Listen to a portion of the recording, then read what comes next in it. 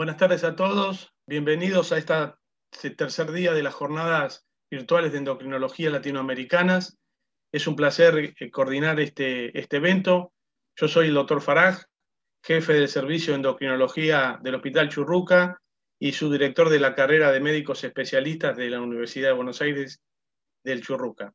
Eh, en primer lugar, y antes de dar comienzo a la, jornada en sí, queríamos eh, detallar algunos eventos. En primer lugar, sepan que se pueden hacer preguntas, para lo cual tienen el, el, icono que tienen abajo en el zócalo de preguntas y respuestas. Si tienen algún problema técnico, tienen que tocar el botón de chat. Y recuerden, como dijo el doctor Apis el lunes, al inicio de la jornada, se va a hacer un sorteo de una beca para el ICE 2021. Para tal fin, tienen el botón de chat donde tienen que poner su nombre y apellido solamente nombre y apellido, enviarlo y después tienen tiempo hasta las 19.30 y luego de terminada la, sesión, el doctor Aspi va a realizar el sorteo en vivo eh, posteriormente. Entonces, ahora sí vamos a dar comienzo a la jornada en sí. Esta jornada está, eh, es el abordaje en la fertilidad en mujeres, en, mujeres este, en situaciones particulares y tenemos el honor de contar con, tres prestigiosos disertantes. En primer lugar, el doctor Crisosto, Nicolás Crisosto, que es jefe del Laboratorio de Endocrinología y Metabolismo de la Facultad de Medicina Occidente de la Universidad de Chile, nos va a hablar de fertilidad en la paciente con síndrome de ovario poliquístico. Doctor Crisosto, cuando usted guste.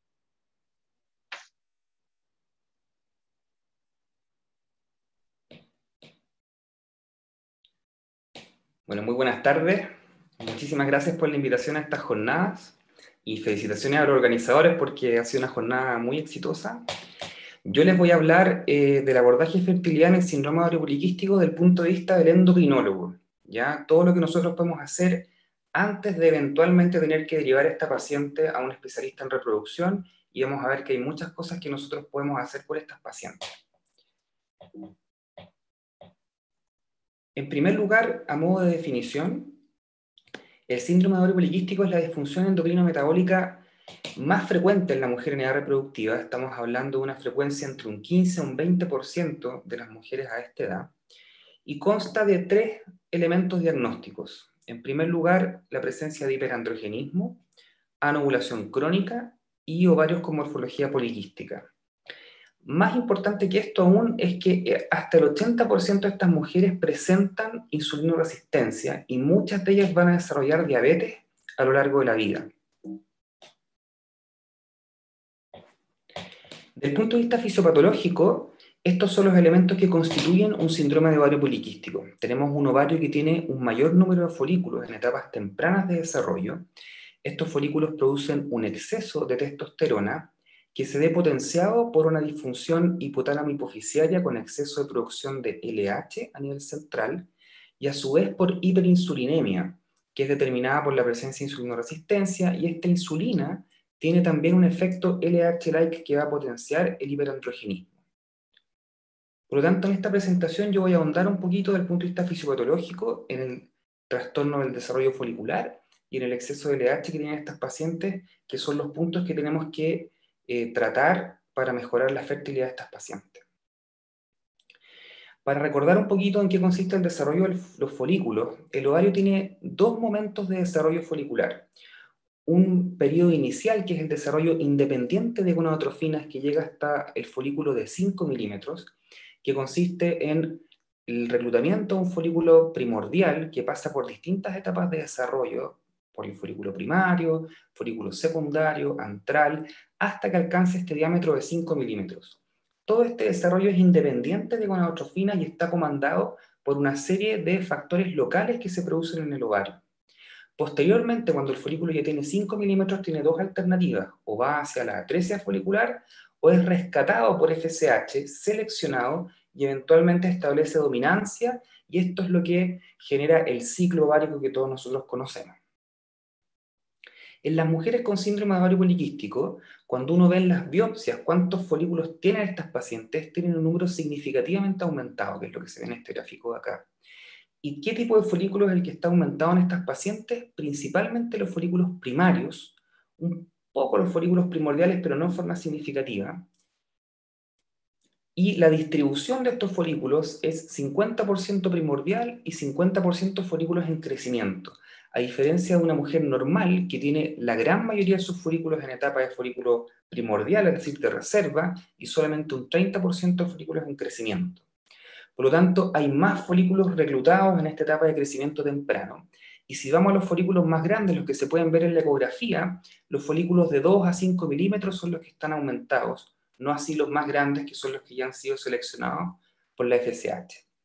Y estos folículos justamente son los que se asocian a hiperandrogenismo, son folículos que, cuyo principal producto hormonal es testosterona. Esto es un marcador de proliferación celular y ustedes pueden ver que las mujeres anovulatorias con síndrome ovario poliquístico tienen mayor expresión de marcadores de proliferación celular en sus folículos. Y la regulación de este crecimiento folicular tiene que ver con muchos factores que se producen a nivel local en el ovario, la gran mayoría de los cuales son estimuladores. Todas estas células producen una serie de factores que llaman al desarrollo del folículo primario y su transformación en folículo, eh, perdón, primordial hacia primario. Mientras que un solo factor es el factor eh, regulatorio negativo, que es la AMH. La AMH es de los pocos reguladores negativos del crecimiento y por tanto es el principal controlador del crecimiento folicular. Y aquí tenemos una inmunistoquímica en que se ve todo lo que se ve color café es AMH, como ustedes pueden ver, los folículos primarios y secundarios junto con los antrales producen esta hormona, mientras que los folículos primordiales no lo hacen. Y el perfil de expresión de esta hormona es principalmente en estos folículos pequeños que están iniciando su desarrollo. Y es así como al medir esta hormona antimileriana en la periferia, nosotros podemos tener una idea bastante acabada de cuántos folículos hay en el ovario representa muy bien el tamaño de la reserva ovárica. Y es así como las mujeres con síndrome de ovario poliquístico tienen dos a tres veces niveles aumentados de AMH comparados con mujeres normales y tienen dos a tres veces el número de folículos entre 2 y 5 milímetros. ¿Y cómo funciona este sistema? Los folículos que están en esta etapa temprana de desarrollo señalizan a través de AMH al folículo primordial que no tiene que crecer por lo tanto, cuando se alcanza una cierta masa de folículos en etapas tempranas de desarrollo, se frena el desarrollo folicular. El problema es que esta misma masa de folículos señaliza hacia FSH que no tiene que seleccionar folículos, es decir, cuando hay muchos folículos, se entorpece el mecanismo de selección folicular. Y este es el problema que tienen nuestras pacientes con síndrome ovario poliquístico. Tienen un defecto en la selección del folículo y por eso se vuelven anovulatorias. Esto es un estudio en el que se vio la expresión de AMH en estos folículos más pequeños, que son los que están señalizando al folículo primordial, y se ve que la expresión de AMH está reducida, es decir, está abierta la compuerta de reclutamiento folicular en estas pacientes. Entonces, ¿cómo se regula esta hormona? Entendiendo cómo se regula, entendemos gran parte de la fisiopatología de la anovulación en el síndrome ovario. Y si nos vamos a la gónada masculina, en el testículo se sabe hace mucho tiempo que las concentraciones intratesticulares de testosterona producen reducción de la expresión de AMH. Y nosotros hace un tiempo atrás, utilizando un modelo de ovario bovino que es muy parecido al ovario humano, seleccionamos estos folículos pequeños y eh, separamos sus células de la granulosa y las estimulamos con testosterona y nos dimos cuenta que pasaba lo mismo que en el testículo. Al haber hiperandrogenismo, estas células expresan menos AMH. El doctor Franks hace poco tiempo también en un modelo de ovario en roedores, trabajando con folículos mucho más pequeños a nivel microscópico, se dio cuenta que al estimular con dihidrotestosterona, el desarrollo folicular aumentaba, el número de folículos que tenían antes, que por lo tanto iban creciendo, era mayor, y la expresión de esta hormona, que es lo mismo que encontramos nosotros, se reducía, hay menos expresión de MH. Entonces, ¿cómo funciona esto? Cuando hay exceso de andrógenos introváricos, se produce reducción de la expresión de AMH de estos folículos más pequeños y se abre la compuerta para que haya mayor reclutamiento folicular. Y ese es el problema que tienen nuestras pacientes. Al tener un mayor número de folículos con distintos estados de maduración, cuesta que ocurra esta selección y establecimiento de dominancia de un solo folículo, que es lo que ocurre en las pacientes normales. Estas pacientes tienen muchos folículos en distintas etapas de desarrollo y eso entorpece la selección folicular. Y esto ocurre principalmente porque AMH, como les conté, impide la selección por FSH. ¿Qué pasa ahora con LH?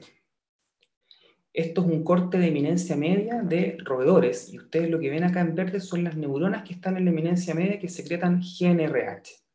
Estas neuronas GNRH tienen receptores para AMH, lo que se ve más claramente aquí en esta diapositiva, estas son las neuronas, todo lo que está en rojo son receptores para AMH. ¿Y cuál es el rol de AMH a nivel del hipotálamo? Cuando se agrega AMH a estas neuronas aumenta la frecuencia de disparo. Y al aumentar la frecuencia de disparo, aumenta la liberación de LH. Ustedes pueden ver aquí los pics de LH, cómo están exacerbados en presencia de mayor cantidad de AMH y existe una dosis respuesta, mientras más AMH hay, más LH se libera. Y nosotros demostramos esto mismo en el ser humano. Este mismo mecanismo está ocurriendo en hijas de mujeres con síndrome ovario poliquístico durante la etapa postmenárquica. El 75% de estas niñas va a desarrollar un SOP y ya tienen esta disfunción neuroendocrina que parece estar comandada por el número de folículos que hay en el ovario. Mientras más AMH, más LH. Y al controlar por distintos factores en un modelo estadístico, encontramos que esta relación era exclusivamente entre LH y AMH, independiente de la corrección por testosterona, índice de masa corporal y otros factores.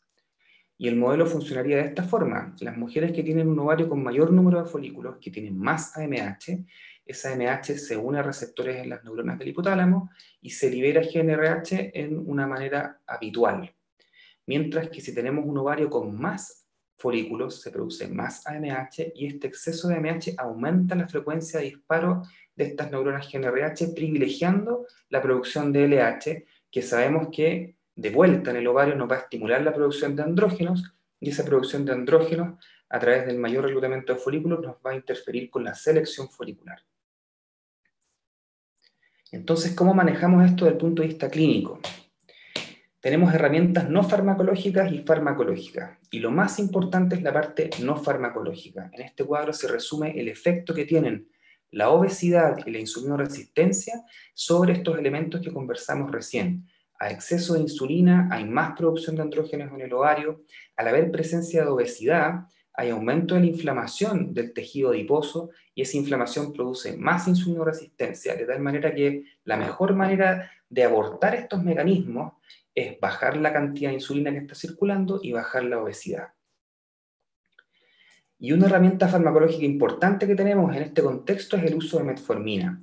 La metformina a nivel central baja la expresión de LH, a nivel directo en el ovario baja la expresión de la síntesis 7, que es la enzima más importante en la síntesis de andrógenos del ovario. A nivel hepático aumenta la síntesis de SHBG, por lo tanto baja la cantidad de testosterona libre que está circulante y con esto en la gran mayoría de las pacientes logramos baja de peso, con uso de metformina, con ejercicio, eh, retomar los ciclos ovulatorios en la mayoría de estas pacientes. Ahora, una vez que esa paciente logra un embarazo, ¿mantenemos o no la metformina? Esa es una pregunta eh, que es bastante controvertida y depende del estudio que uno vea. Aquí tenemos una revisión sistemática que muestra que algunos estudios que no son randomizados muestran efectos positivos sobre diabetes gestacional, mientras que ensayos clínicos randomizados no lo han demostrado. En relación a otras complicaciones como la preeclampsia, la metformina no ha demostrado efectos positivos. Con los abortos depende del trabajo que uno vea.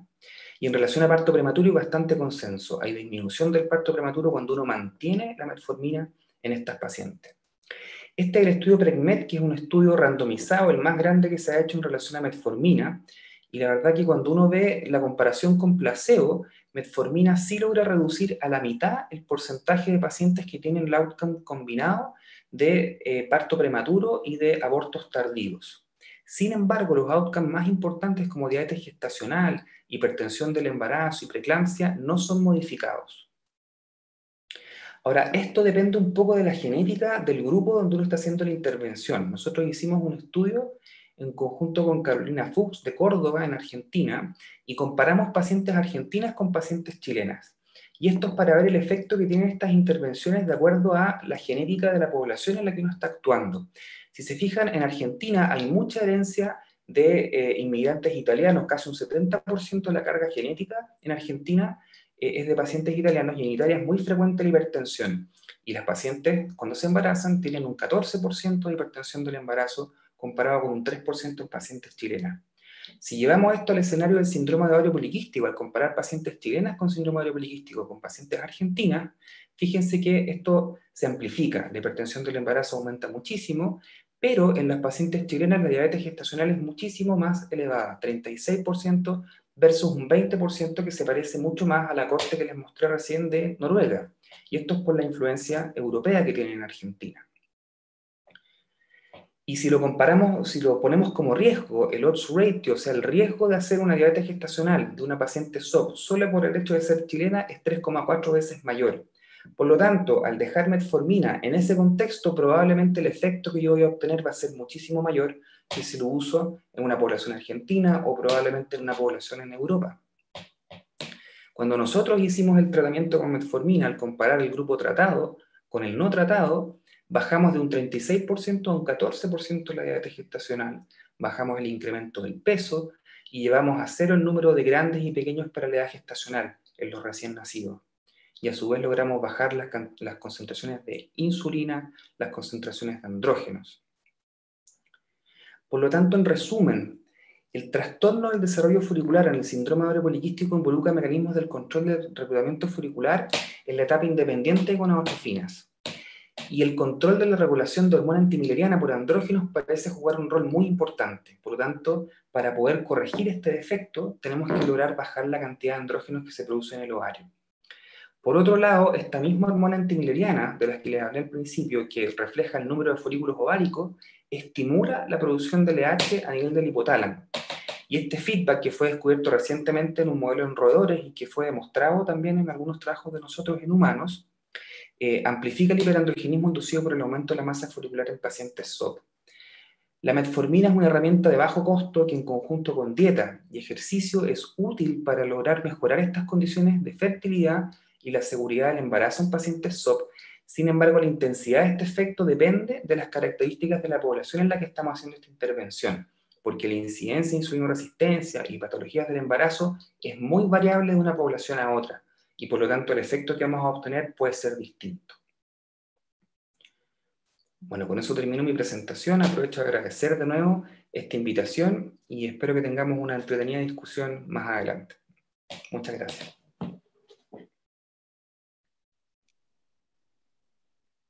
Muchas, muchas gracias, doctor, por su excelente disertación. Ahora vamos a pasar a la segunda disertante, que es la doctora Cecilia Calvar, que nos va a hablar sobre fertilidad en población transgénero. El título original era en mujer eh, transgénero, pero hablamos con la doctora Calvar para hacerlo un poco más abarcativo de que va a hablar de en población transgénero. La doctora Calvar es jefa del servicio de endocrinología del Hospital Fernández y está a cargo del consultorio de diversidad sexual del mismo hospital. Es profesora adjunto de la Cátedra de Medicina de la Universidad de Salvador.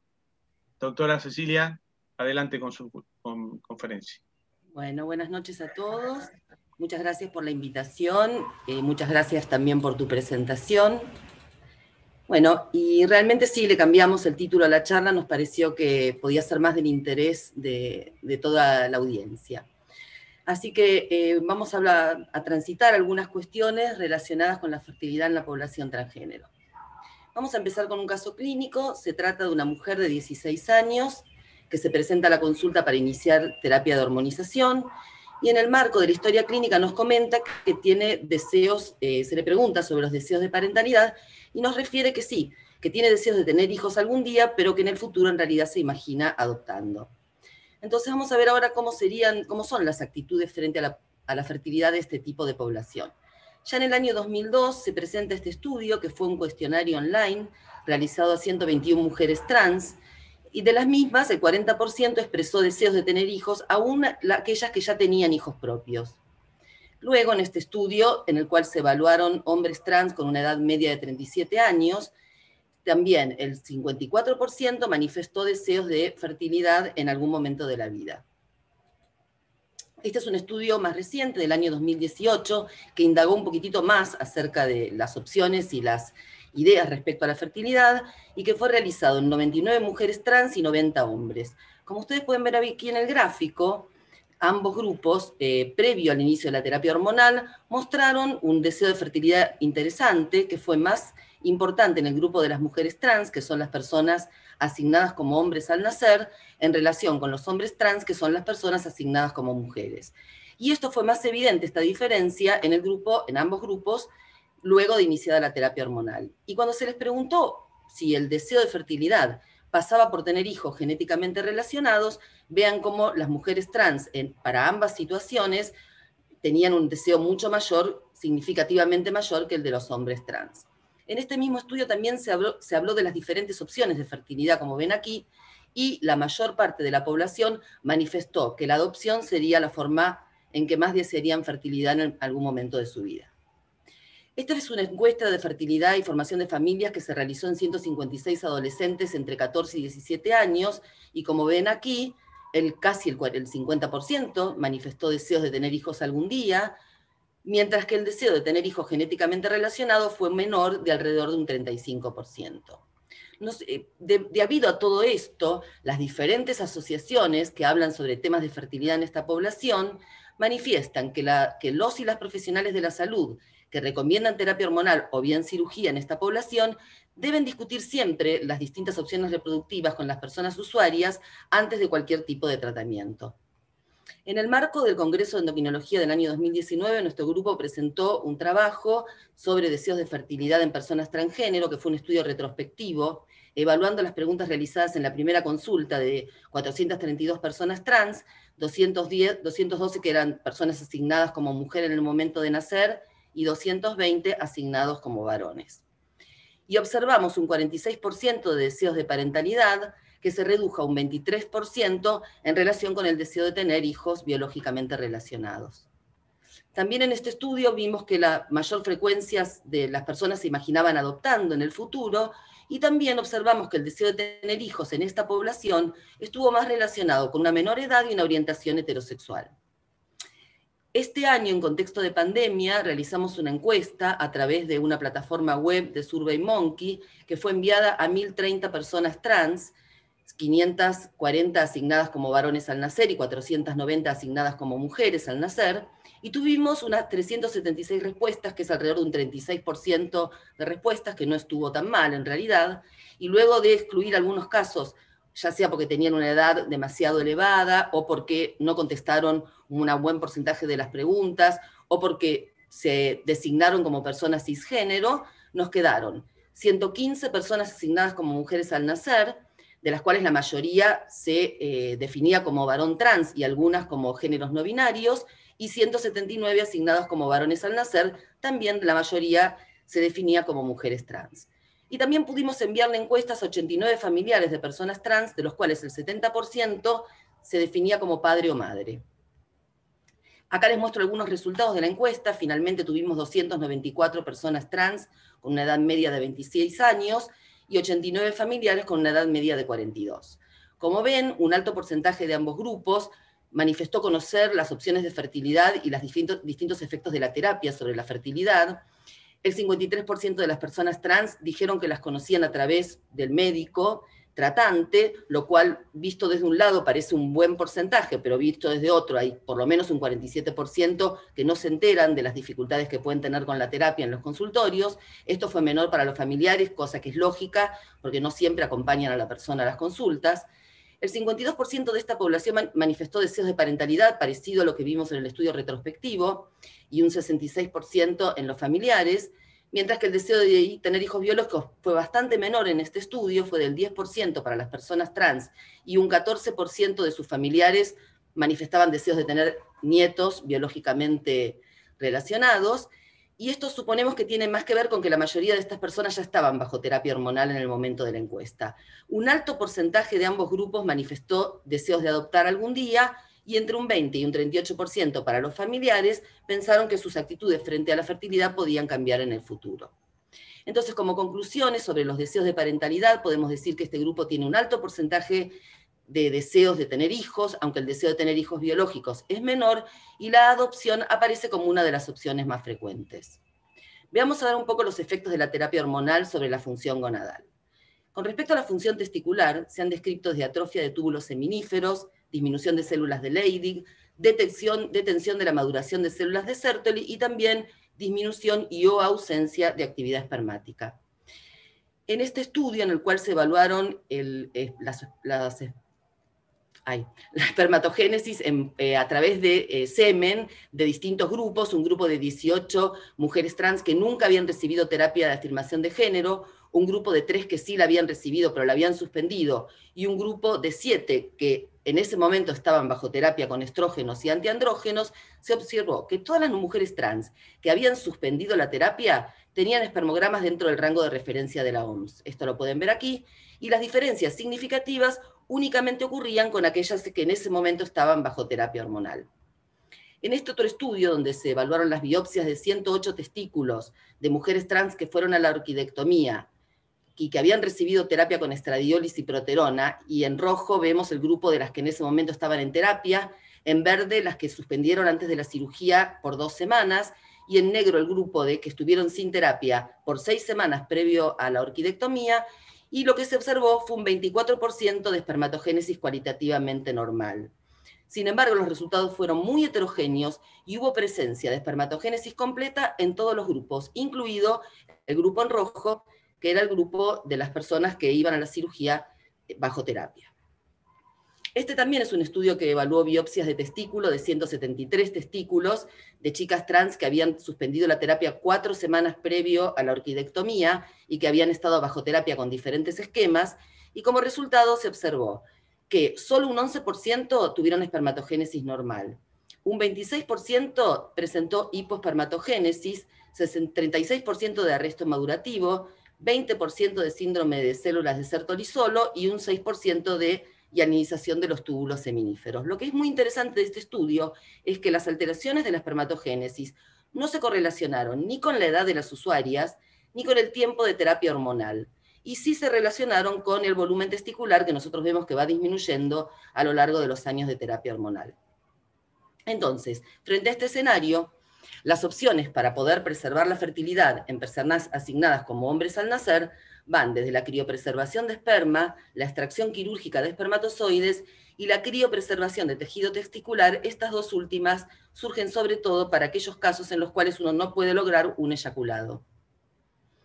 A futuro, estas muestras podrán ser utilizadas para inseminación, fecundación in vitro o ICSI de acuerdo a su calidad.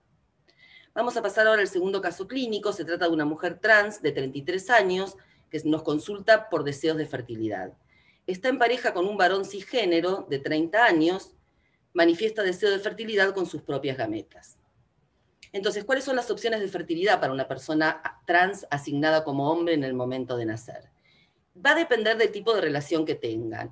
Eh, recuerden que las personas trans pueden tener distintos tipos de orientación sexual, así como las personas cis. Si la relación es con una persona que tiene testículos, como el caso de la mujer trans que nos consulta, obviamente van a necesitar ovodonación y un útero portador. También existiría, esto es algo que por el momento no eh, hay ningún reporte, el trasplante de útero, pero sí ya hay reportes de mujeres cis que han tenido hijos con trasplante de útero, por, aquellas que habían sido operadas, por supuesto, ¿no? Y si tuviera una relación con una persona que tiene ovarios y útero, en ese caso podría utilizar su semen o tal vez utilizaría semen de donante porque no quiera suspender la terapia hormonal con gametas y útero de la pareja. Vamos a ver ahora los efectos de las hormonas sobre los ovarios. En los ovarios se han descrito desde ovarios multifoliculares, ovarios poliquísticos, también hiperplasia y luteinización del estroma y engrosamiento de la corteza. Y respecto a endometrio y miometrio, hay algunos casos de atrofia endometrial, también se han descrito hiperplasia endometrial, pólipos endometriales y desarrollo de leiomiomas uterinos. Este es un estudio en el cual se evaluaron muestras de tejido ovárico de 40 varones trans que habían recibido al menos un año de terapia con testosterona, y los autores lo que observaron fue que la distribución folicular cortical parece ser sorprendentemente normal en este grupo, a pesar de haber recibido terapia con testosterona. Por otra parte, lograron una buena maduración folicular de alrededor del 34% con una estructura cromosómica normal. Más recientemente, este mismo grupo evaluó las muestras de 36 muestras de corteza ovárica de tres hombres trans que habían recibido terapia con testosterona por una media de seis años, comparándolas con las muestras de tres pacientes oncológicas que todos fueron a la oforectomía. Se realizó un análisis de perfil de textura y se vieron alteraciones en las propiedades físicas de la corteza ovárica, probablemente como resultado de la presencia de receptores androgénicos en la superficie del ovario, y también un aumento de la rigidez cortical. Entonces, frente a estas eh, alteraciones que podemos observar, ¿cuáles son las opciones para preservar fertilidad en personas asignadas como mujeres al nacer? También van desde la criopreservación de ovocitos y embriones hasta la criopreservación de tejido ovárico. Esta última surge porque en realidad la criopreservación de ovocitos y embriones suele ser algo bastante engorroso para el grupo de varones trans. Primero porque requiere de suspender la terapia con testosterona, situación a la cual ellos no siempre están dispuestos. Además, requiere un estímulo de ovulación con inyecciones frecuentes, muchas veces más de un ciclo, y finalmente la mayoría de los grupos prefieren el monitoreo de la ovulación a través del uso de las ecografías transvaginales, que es una situación bastante dificultosa para los varones trans.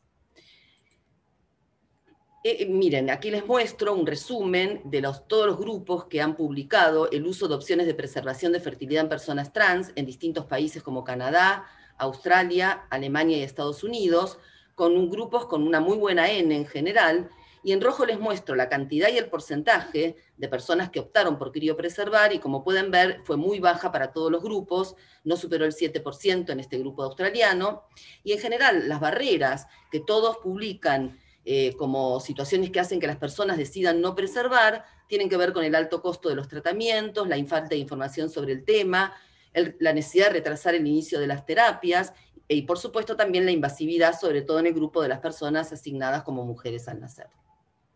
El segundo caso, el, perdón, el tercer caso clínico se trata de un varón trans de 27 años y nos consulta también por deseo de fertilidad.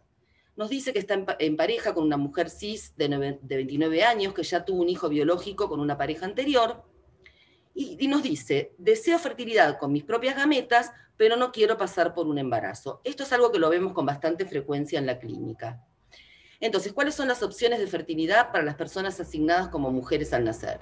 Si la relación es con una persona que tiene ovarios y úteros, que es lo más frecuente, como el caso anterior, en ese caso van a necesitar semen de donante y podrán utilizar el útero y los ovocitos propios o bien el útero y los ovocitos de la pareja o una mezcla de ambos. Y si la relación es con una persona que tiene testículos, podrán utilizar el semen de la pareja siempre y cuando no se trate de una, de una mujer trans, cosa que también vemos con bastante frecuencia, parejas trans-trans, y que no quiera suspender la terapia hormonal. En ese caso podrán utilizar semen de donante.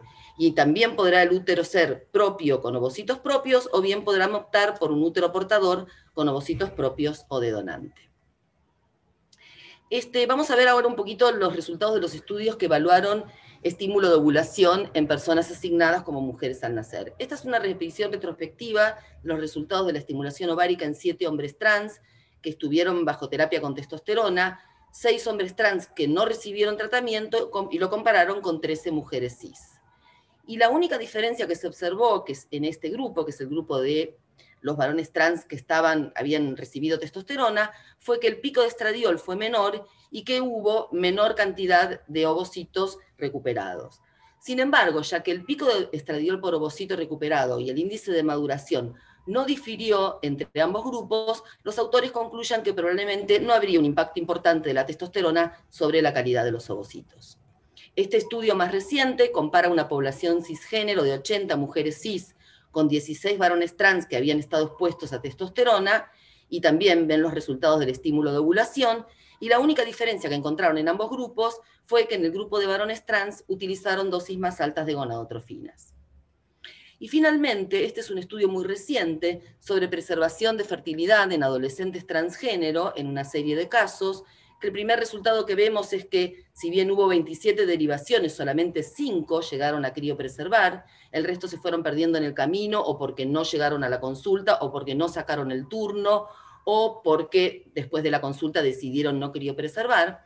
De estos 5 eran entre 15 y 21 años, muy interesante, dos estaban bajo bloqueo puberal en el momento de criopreservar, y un dato muy interesante es que este grupo logró hacer ecografías abdominales para el monitoreo de la, ovulación con muy buenos resultados. Se recuperó ovocitos maduros en todos los casos y todos lograron criopreservar después de un solo ciclo de estimulación. El último tema que vamos a abordar es el tema de los embarazos en hombres trans. Este es un estudio transversal de una encuesta a 41 varones trans que al menos pasaron por un embarazo y un parto y que el 61% había recibido tratamiento previo con testosterona. Y lo que se observó fue que el 80% menstruó dentro de los seis meses de suspendida la terapia. La mayoría logró embarazos dentro de los cuatro meses de suspendida y solo el 7% requirió un estímulo de ovulación. Los resultados de embarazo, parto y nacimiento no fueron diferentes entre los usuarios y no usuarios de testosterona. Hubo un 37% de multiparidad, que fue más frecuente en el grupo que nunca había usado testosterona, esa fue la diferencia más importante, y un dato muy importante, un tercio de los embarazos fueron no planificados, y este es un punto importantísimo para charlar en el consultorio, ya que no está aprobado el efecto anovulatorio de la testosterona, y para los varones trans que tienen acceso vaginal con pene, es importante recomendar la anticoncepción. Este otro estudio, que fue una encuesta online a 196 personas asignadas como mujeres al nacer entre 18 y 45 años, de las cuales el 86% había recibido terapia con testosterona, se reportaron 60 embarazos. Como pueden ver aquí en el gráfico, fue tres veces más frecuente la frecuencia de embarazos en aquellos que nunca habían usado testosterona y también en este estudio hubo una importante frecuencia de abortos, seguramente, obviamente, por embarazos no deseados.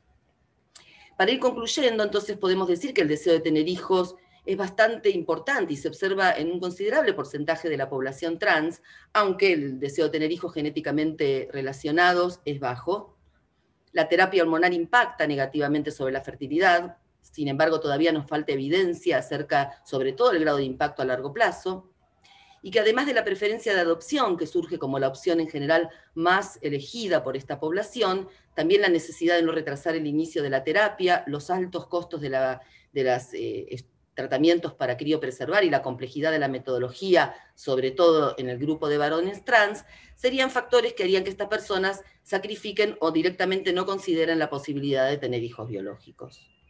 A futuro hay muchas preguntas todavía sin respuesta, como son los efectos a largo plazo de la testosterona y estrógenos sobre la calidad de las gametas, la reversibilidad de los efectos, sobre todo de estrógenos y antiandrógenos sobre la función testicular, cuál sería el momento ideal para suspender la terapia hormonal antes de la criopreservación de gametas, y temas tan interesantes como el desarrollo de células germinales a partir de stem cells germinales femeninas, de médula ósea, mesenquimáticas o pluripotenciales. Bueno, les quiero agradecer a todos por su atención y también aprovecho otra vez para agradecer a SAEM por la invitación, por la cordial invitación.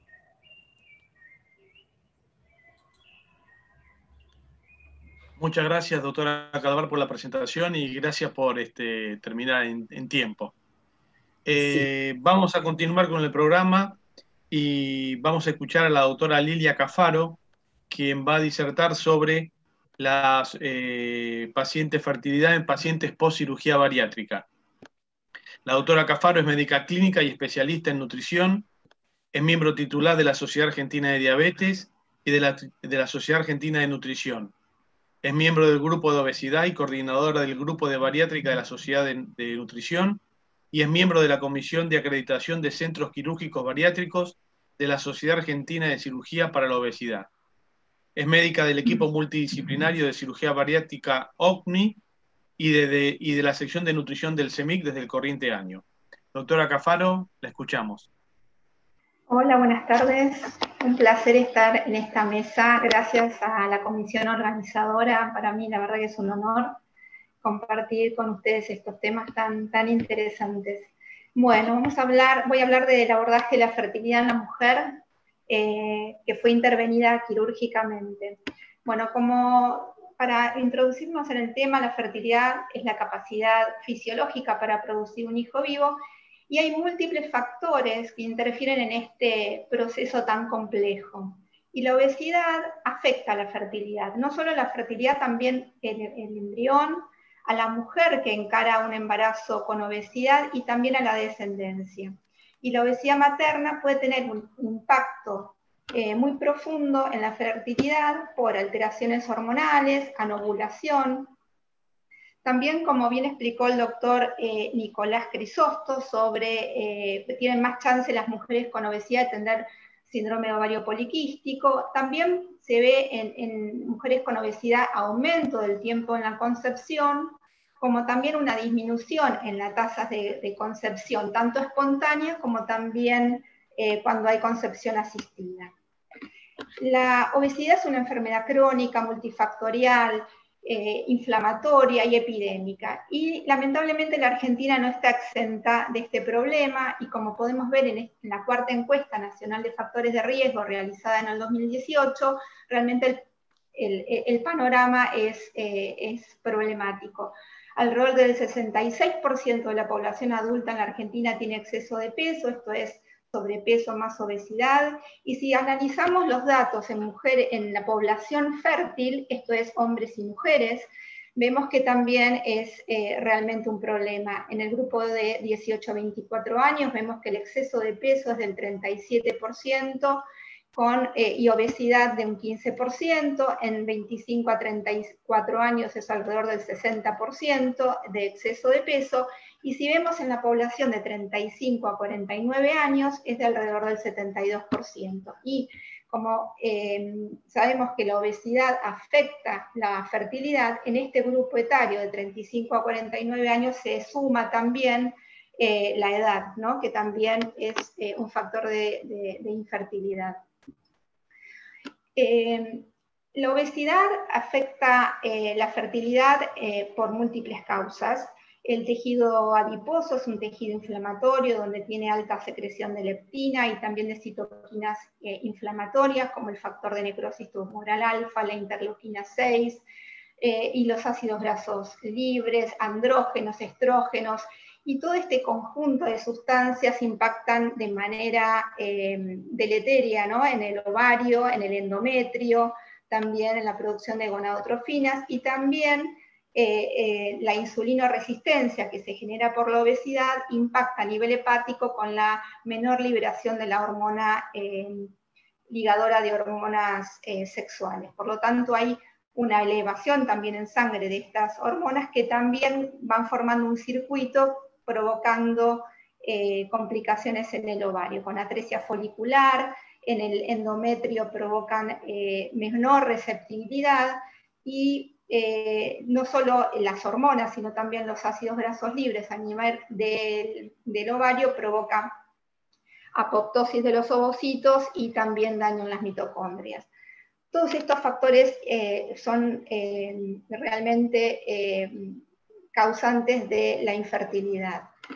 Eh, la, fertilidad se ve afectada por eh, varios problemas en cuanto a la mujer con obesidad, y tanto en, mujeres como en, hombres. Y como podemos ver en este artículo, en esta cohorte de holandesa de más de 3.000 mujeres con ciclo ovulatorios normales, la probabilidad de concepción espontánea disminuyó linealmente con cada punto de índice de masa corporal que, se, aumentaba a partir del de 29.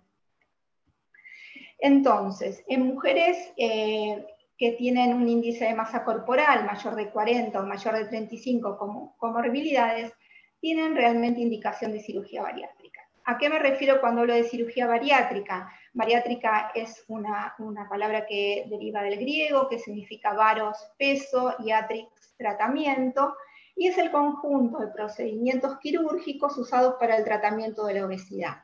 Es una intervención sobre el tubo digestivo que logra el descenso de peso y su mantenimiento a largo plazo.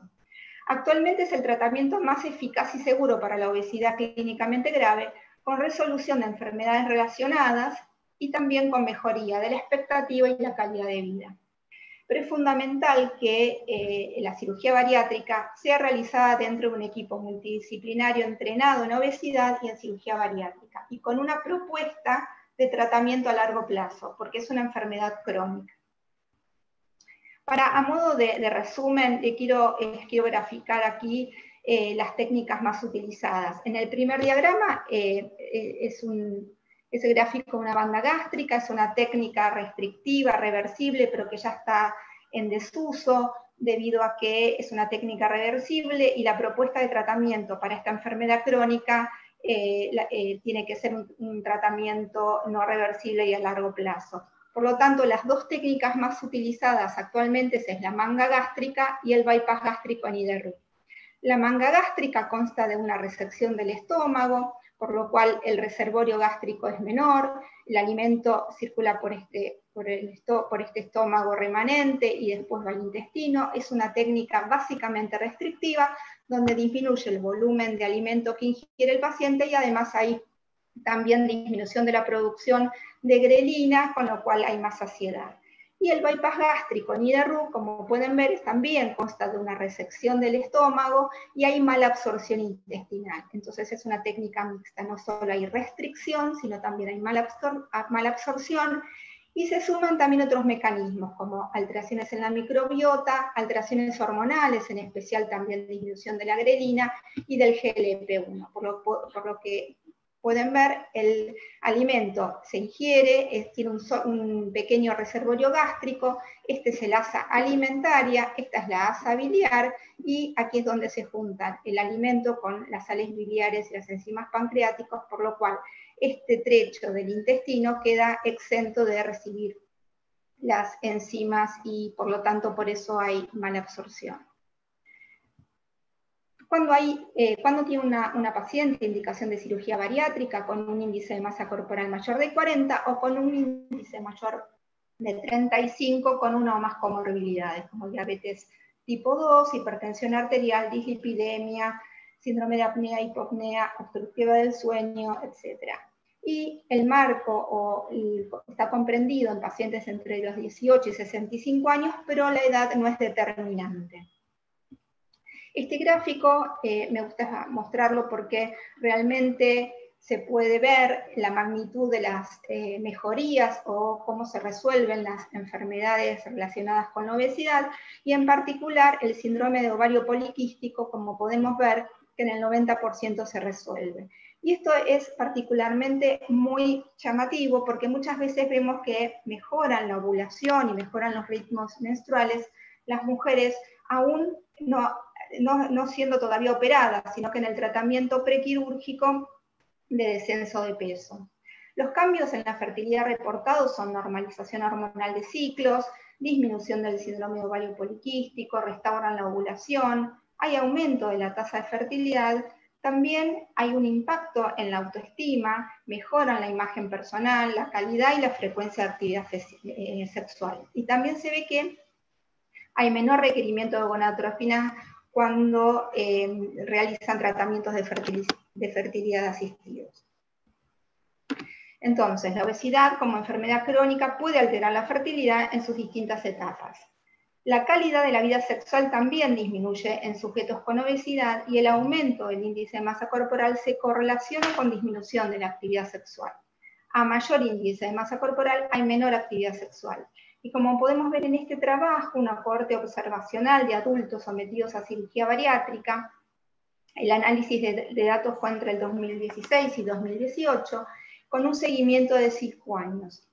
Eh, y según este estudio, aproximadamente la mitad de las mujeres y los hombres que no estaban satisfechos con su vida sexual antes de la cirugía bariátrica experimentaron mejoras en la satisfacción en los cinco años de seguimiento. Este otro estudio retrospectivo con 15.000 pacientes de 18 a 45 años sometidas a cirugía bariátrica, comparadas con pacientes no quirúrgicas, se pudo ver que la disfunción menstrual mejoró un 12% al año de la cirugía y también el síndrome de ovario poliquístico. Quiero recordarles que a veces al año de la cirugía todavía no se llegó al objetivo de descenso de peso eh, definitivo, pero ya hay mejoría. Como también les contaba que hay mucha mejoría también a veces con el descenso de peso prequirúrgico. En, en, esta revisión de artículos del efecto de la cirugía bariátrica en la fertilidad en mujeres y en hombres que se publicó este año, también podemos observar que hay muchos trabajos que muestran la evidencia de que mejora los ciclos menstruales, el, hirsutismo, la disfunción menstrual, eh, eh, hay más chance de tener embarazo luego de la cirugía, por ejemplo en este de Jamal, donde se vio que eh, el 100% de las, pacientes que deseaban quedar embarazadas pudieron concretarlo. También quería mostrarles que hay más, más reportes avalando este hecho y también en este trabajo de Musela, donde eh, se utilizó un balón intragástrico, que es también una técnica bariátrica, pero es no quirúrgica, el cual también es reversible. eh, tenían cuatro pacientes que habían tenido falla en la concepción asistida eh, previo a la, aplicación del balón y luego pudieron quedar embarazadas eh, con el descenso de peso por el balón intragástrico. Bueno, ¿qué pasa si la mujer queda embarazada? ¿Qué pasa con estos embarazos? ¿Tienen más complicaciones? Eh, en este estudio del New England Journal of Medicine del 2015, es un estudio de cohorte retrospectivo, donde examinaron los resultados del embarazo después de la cirugía bariátrica.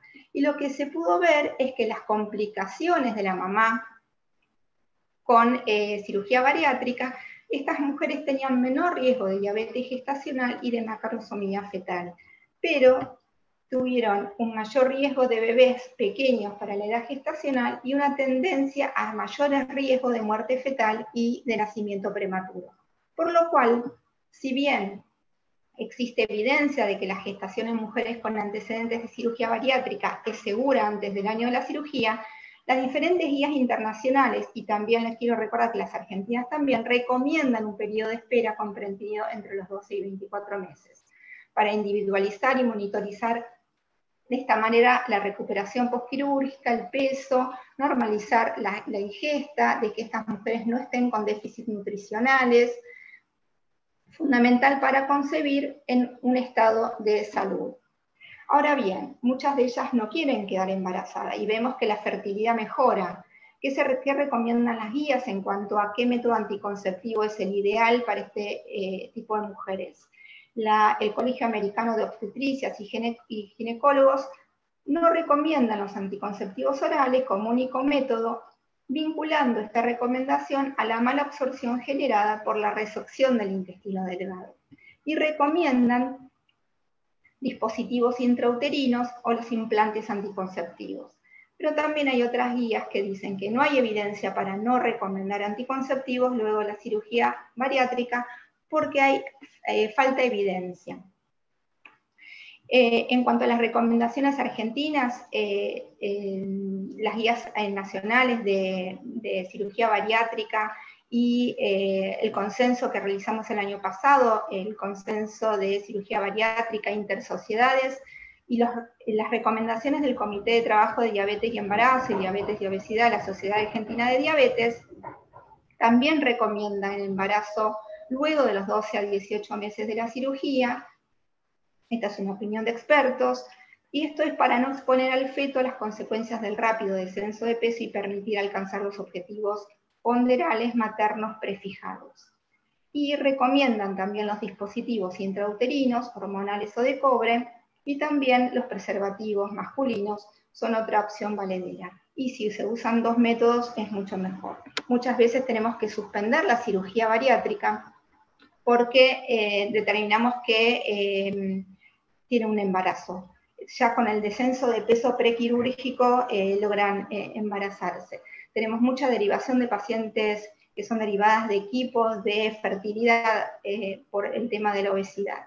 Entonces, como para ir terminando, la obesidad afecta la fertilidad, afecta en el embarazo y su descendencia.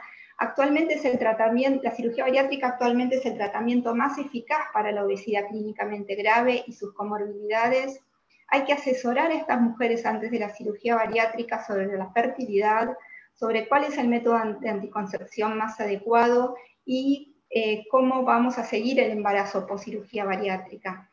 Lo ideal es programar la concepción luego del año de la cirugía, porque después del año es menos probable que tengan déficits nutricionales eh, y es fundamental que sea seguida por un equipo interdisciplinario para tener un buen seguimiento nutricional y que continúen con su suplementación de multivitamínicos y de calcio.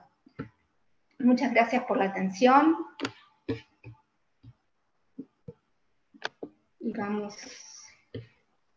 Muchas gracias, doctora. Excelente su presentación.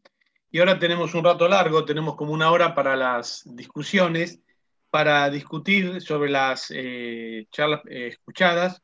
Tenemos el gusto de contar con la participación de la doctora Susana Belli, de la doctora Andrea Cossack y de la doctora Patricia San Martín. La doctora Andrea Cossack es bioquímica egresada de la Universidad Nacional del Litoral, es especialista en endocrinología y en endocrinología ginecológica y reproductiva, Es directora técnica del Laboratorio de Endocrinología Hormonal y Genético del Hospital Italiano de Buenos Aires. Es ex coordinadora del Departamento de Bioquímica Endocrinológica de la Sociedad Argentina de Endocrinología y Metabolismo y es ex directora del curso especialista de bioquímicos de la Sociedad Argentina de Endocrinología y Metabolismo y actualmente es consultora.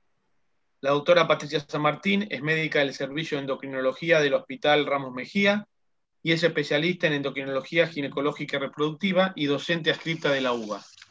Y finalmente la doctora Susana Belli, médica especialista universitaria en endocrinología, es jefa del Instituto Alexander Fleming y es coordinadora del Departamento Supernal de SAEM y miembro del Advisor Board de ENET. Bueno, eh, vamos a comenzar. Si quieren, la doctora San Martín, no sé si está ya. Sí, sí, sí. Eh, bueno, buenas tardes a todos. Este, muchas gracias por la invitación para, esta discusión. Eh, bueno, tengo varias preguntas, pero quería, comienzo con Cecilia. excelente, Cecilia. te felicito realmente y este, los sobre todo por los datos que, comentaste también de, esta encuesta que hicieron en pandemia, con todo este esfuerzo que esto significa. Em, bueno, yo estaba viendo que los datos que tenés coinciden más o menos en cuanto al deseo eh, con lo que está en la literatura. Em, y yo pensaba que aún en países muy más desarrollados que el nuestro, eh, igual la concreción de la criopreservación termina siendo muy baja. Eh, les da como a ustedes por arriba del 50% del deseo, pero lo que concretan es bajísimo, eh, es un poco mayor en Holanda, pero en Canadá creo que está menos del 5%. Así que eh, la verdad que seguramente hay factores que van más allá del costo y que posiblemente tengan que ver, pienso, con la incomodidad que les genera este, todo este tipo de técnicas. Em, de reproducción. No, y, la pregunta que quería hacerte es si vos tenés experiencia con respecto al uso de análogos eh, en la población trans, pero en adolescentes, digamos, más tardíos, ahí a, los 16 a lo mejor, porque yo no, tengo nada de experiencia con análogos, em, en cuanto a más que nada para las mujeres trans, si esto podría eh, generar un aumento, digamos, del tamaño testicular para lograr después la Em, la criopreservación de esperma a lo mejor más fácil eh, que eh, antes de iniciar el tratamiento hormonal propiamente dicho, ¿no? Como para tenerlos en stand-by que generen un aumento del tamaño testicular y después eh, poder hacer una criopreservación de esperma. Se te dio esta, esta posibilidad, digamos. No terminé, disculpame, pero no terminé de entender la segunda. No, eh, si en, los, en, en, mujeres trans de, adolescentes eh, usás el, eh, los análogos como en forma tardía, hasta los 16 más o ah. menos llegar hasta los 16 años. Sí, claro, con el tratamiento, antes de empezar la terapia hormonal, por si quisieran criopreservar, en realidad, ¿no? Antes de largar con, la, con las hormonas directamente. Yo, bueno, de la primera parte de tu comentario, eh, bueno, muchas gracias por tus felicitaciones, Patri, muchas gracias, de verdad. Em, de la primera parte de tu, tu, comentario, en realidad yo creo que ese porcentaje tan bajito que llegan a criopreservar, lo tenemos que relacionar con el deseo de tener hijos biológicamente relacionados, que no es tan alto como el 54% en ninguna población. En ninguna población, ni en, la Argentina, ni en Australia, ni en, ni en ninguna parte del mundo. En general, el deseo de tener hijos biológicos en esta población es mucho menor que lo que uno ve en la población, digamos, cisgénero, ¿no? Nosotros vimos un 10% en esta encuesta, me pareció muy bajo, 10%, yo pienso que tiene que ver con que el 90% estaban bajo terapia hormonal, o sea que no lo podemos relacionar con una población que recién hace la primera consulta, como ese 23% que vimos en el estudio retrospectivo, pero bueno, es eh, de alguna manera nosotros le preguntamos a, cualquier persona que viene a consultar, forma parte de nuestra historia clínica, el deseo de parentalidad y, las distintas opciones de parentalidad. Así que yo creo que ese, bajito porcentaje que va entre el 2,5 y el 7% de utilización de los métodos de criopreservación, hay que relacionarlo con entre un 10 y un 30% de deseo de tener hijos biológicamente relacionados. Igual es muy bajo, es muy bajo en comparación al deseo realmente. Eh, por eso yo termino concluyendo que acá hay un montón de factores que hacen que hay que ver hasta qué punto estas personas no desearían tal vez tener habría un, mayor deseo de tener hijos biológicos si no fuera tan dificultoso el panorama que se les presenta en el momento de decidir. Es tan fuerte la pulsión del deseo de la terapia hormonal, es tan fuerte, y, y es tan, vos lo sabés porque tenés experiencia clínica también, que la verdad que el deseo de, fertilidad con sus propias gametas pasa a un, punto secundario. Eh, con respecto a, los análogos, tengo muy poca experiencia con análogos, tengo muy pocas personas que iniciaron análogos previo al, a, Tanner, o sea, en Tanner 2, que es el momento en que uno eh, debería indicar análogos, porque mi servicio también es de adultos. Hace muy poco tiempo que incorporamos las terapias con análogos, así que tendremos tengo tres nenas trans que están en este momento con análogos y, dos varones, es muy poquito.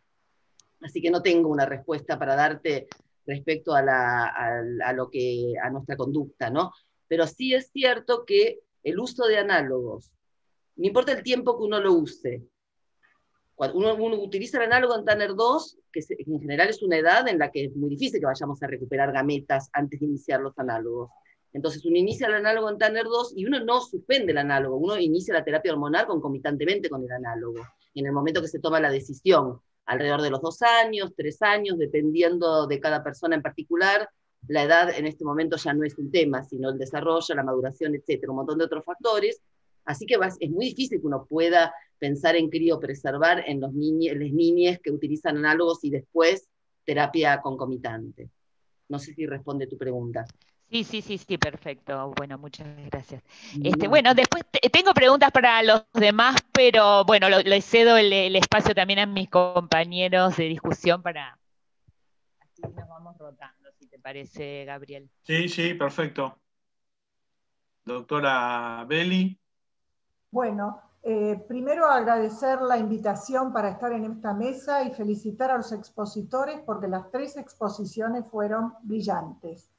Eh, quería preguntarle al doctor Crisosto, que no sé dónde está, apagó su cámara y no lo vemos. No, Ahí está arriba. Ahí está. Ah. Eh, quería preguntarte, porque eh, de la charla de la cirugía bariátrica se desprende que es evidentemente el sobrepeso el factor más importante para los trastornos de la ovulación. Eh, una pregunta es si ustedes, para disminuir la insulinoresistencia, sistemáticamente indican metformina o inician una terapia eh, dietética, buscan disminución de peso, ejercicio, y frente al fracaso de esto, o tratando de estimular a las pacientes para que vean una respuesta más rápida, les indican la metformina. ¿Cuál es el, el el, ritmo que tienen para la administración de la droga, aparte del ejercicio y la dieta. Yo en el caso de las pacientes con síndrome ovario poliquístico lo hacemos de forma bien secuencial, sobre todo por la, tolerancia que tiene la metformina. Eh, uno primero tiene que ordenar la alimentación. En los pacientes que llegan y usan metformina llevando una alimentación desordenada, toleran muy, muy mal la metformina. Entonces, lo primero es ordenar la alimentación sobre todo agregando fibra a las comidas con carbohidratos, cosa de evitar estas excursiones de glucosa intensas que tienden a producir hipoglucemia reactiva, que se van a exacerbar con la metformina. Entonces, eh, yo en general trabajo con una muy buena nutricionista que ordena muy bien a los pacientes primero con alimentación y nunca les parto la metformina antes de 3, 4 semanas de tener una alimentación bien ordenada, junto con ejercicio. Y ahí uno va incrementando la metformina de a poco. Generalmente parto con una dosis de 750 por dos semanas. Si hay buena tolerancia, llego ojalá hasta 1500 de metformina. ¿ya? Eh, esto hablando de pacientes que tienen evidentemente eh, elementos clínicos de insulinoresistencia. No necesariamente todas las pacientes, pero la gran mayoría requieren un poco de metformina. Y ahí en general la, la, la regularización de las reglas se demora unos meses, ¿ya? unos dos, tres meses.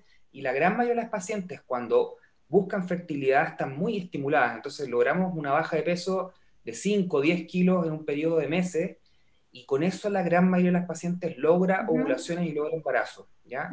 Evidentemente hay pacientes que tienen una obesidad muy importante y en ese caso yo también tengo pacientes que se han sometido a cirugía bariátrica y debo dar fe de que el efecto es así, o sea, realmente se pasa todo con la baja de peso intensa que produce la cirugía bariátrica. Entonces tenemos todos los escenarios, ¿ya? El escenario de la paciente que efectivamente hace el esfuerzo, hace dieta, ejercicio Y mi recomendación sería ser bien secuencial en el inicio de las terapias, ¿ya? Dar el espacio para eh, dieta y ejercicio primero, de a poquito ir incorporando la metformina, y los pacientes que no se logra el efecto en algunos meses con esto, efectivamente la cirugía bariátrica es una muy buena alternativa. Muchas gracias. Bueno, doctora Cosa. Nosotros también, eh, generalmente el paciente que se prepara para una cirugía bariátrica está alrededor de cuatro o seis meses en, preparación con el equipo, así que también eh, indicamos metformina cuando tienen hiperinsulinemia y también empezamos con baja dosis, 250 miligramos por día y vamos aumentando semanalmente.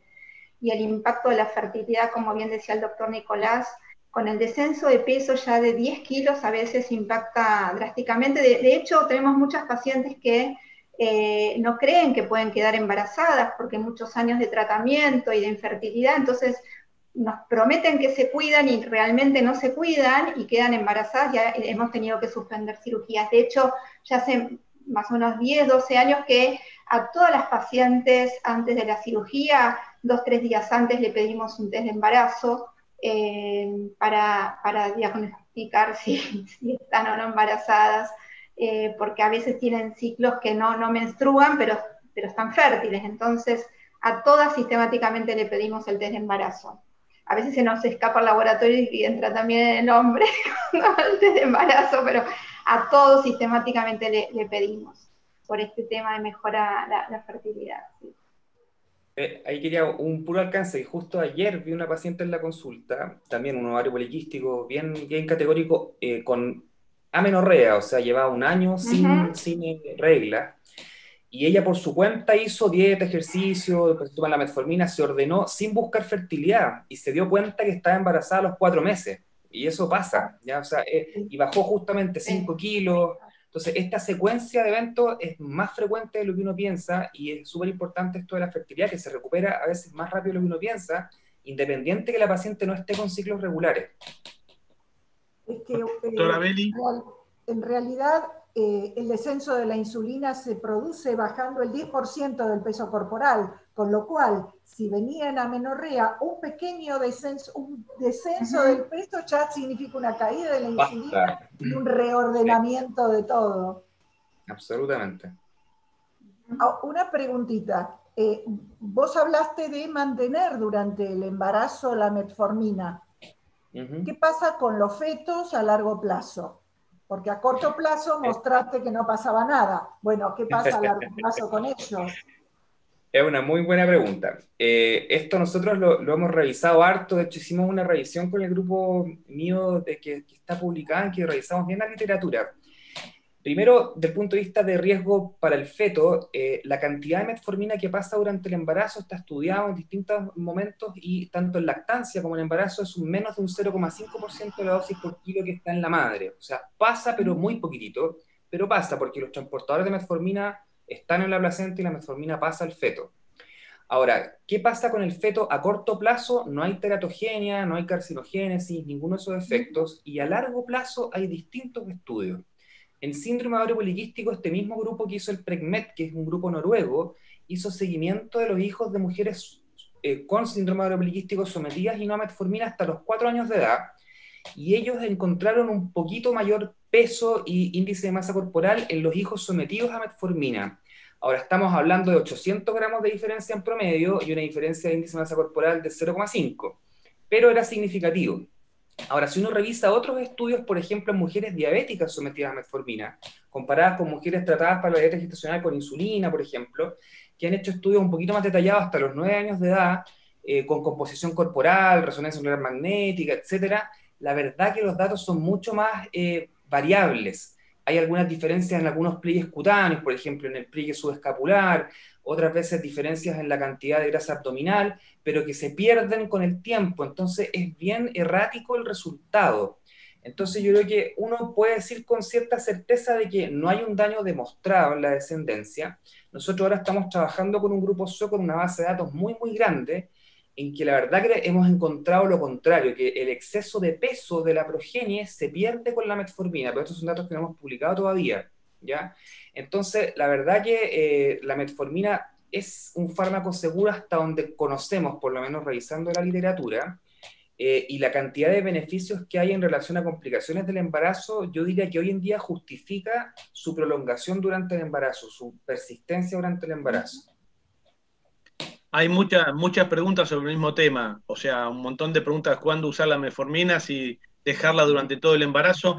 Y hay una pregunta puntual que dice que hay un trabajo que a los cinco años los chicos de madres con ah. metformina tienen mayor peso, un poco lo has es contestado. El estudio es el mismo que les comentaba, que es a los a los cuatro años en promedio los hijos.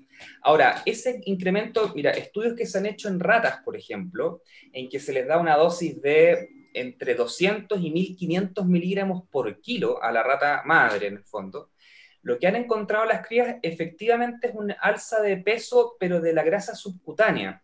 Y cuando le hacen estudios a estas ratas eh, de eh, prueba de tolerancia a la glucosa, niveles de insulina, niveles de glicemia, son ratas más sanas. Entonces, ¿Qué pienso yo? Suponiendo que hay un exceso de peso, es muy probable que ese exceso de peso tenga que ver con mayor capacidad de expansibilidad del tejido adiposo subcutáneo, lo que no necesariamente es algo negativo, porque la grasa que es mala, entre comillas, es la grasa visceral.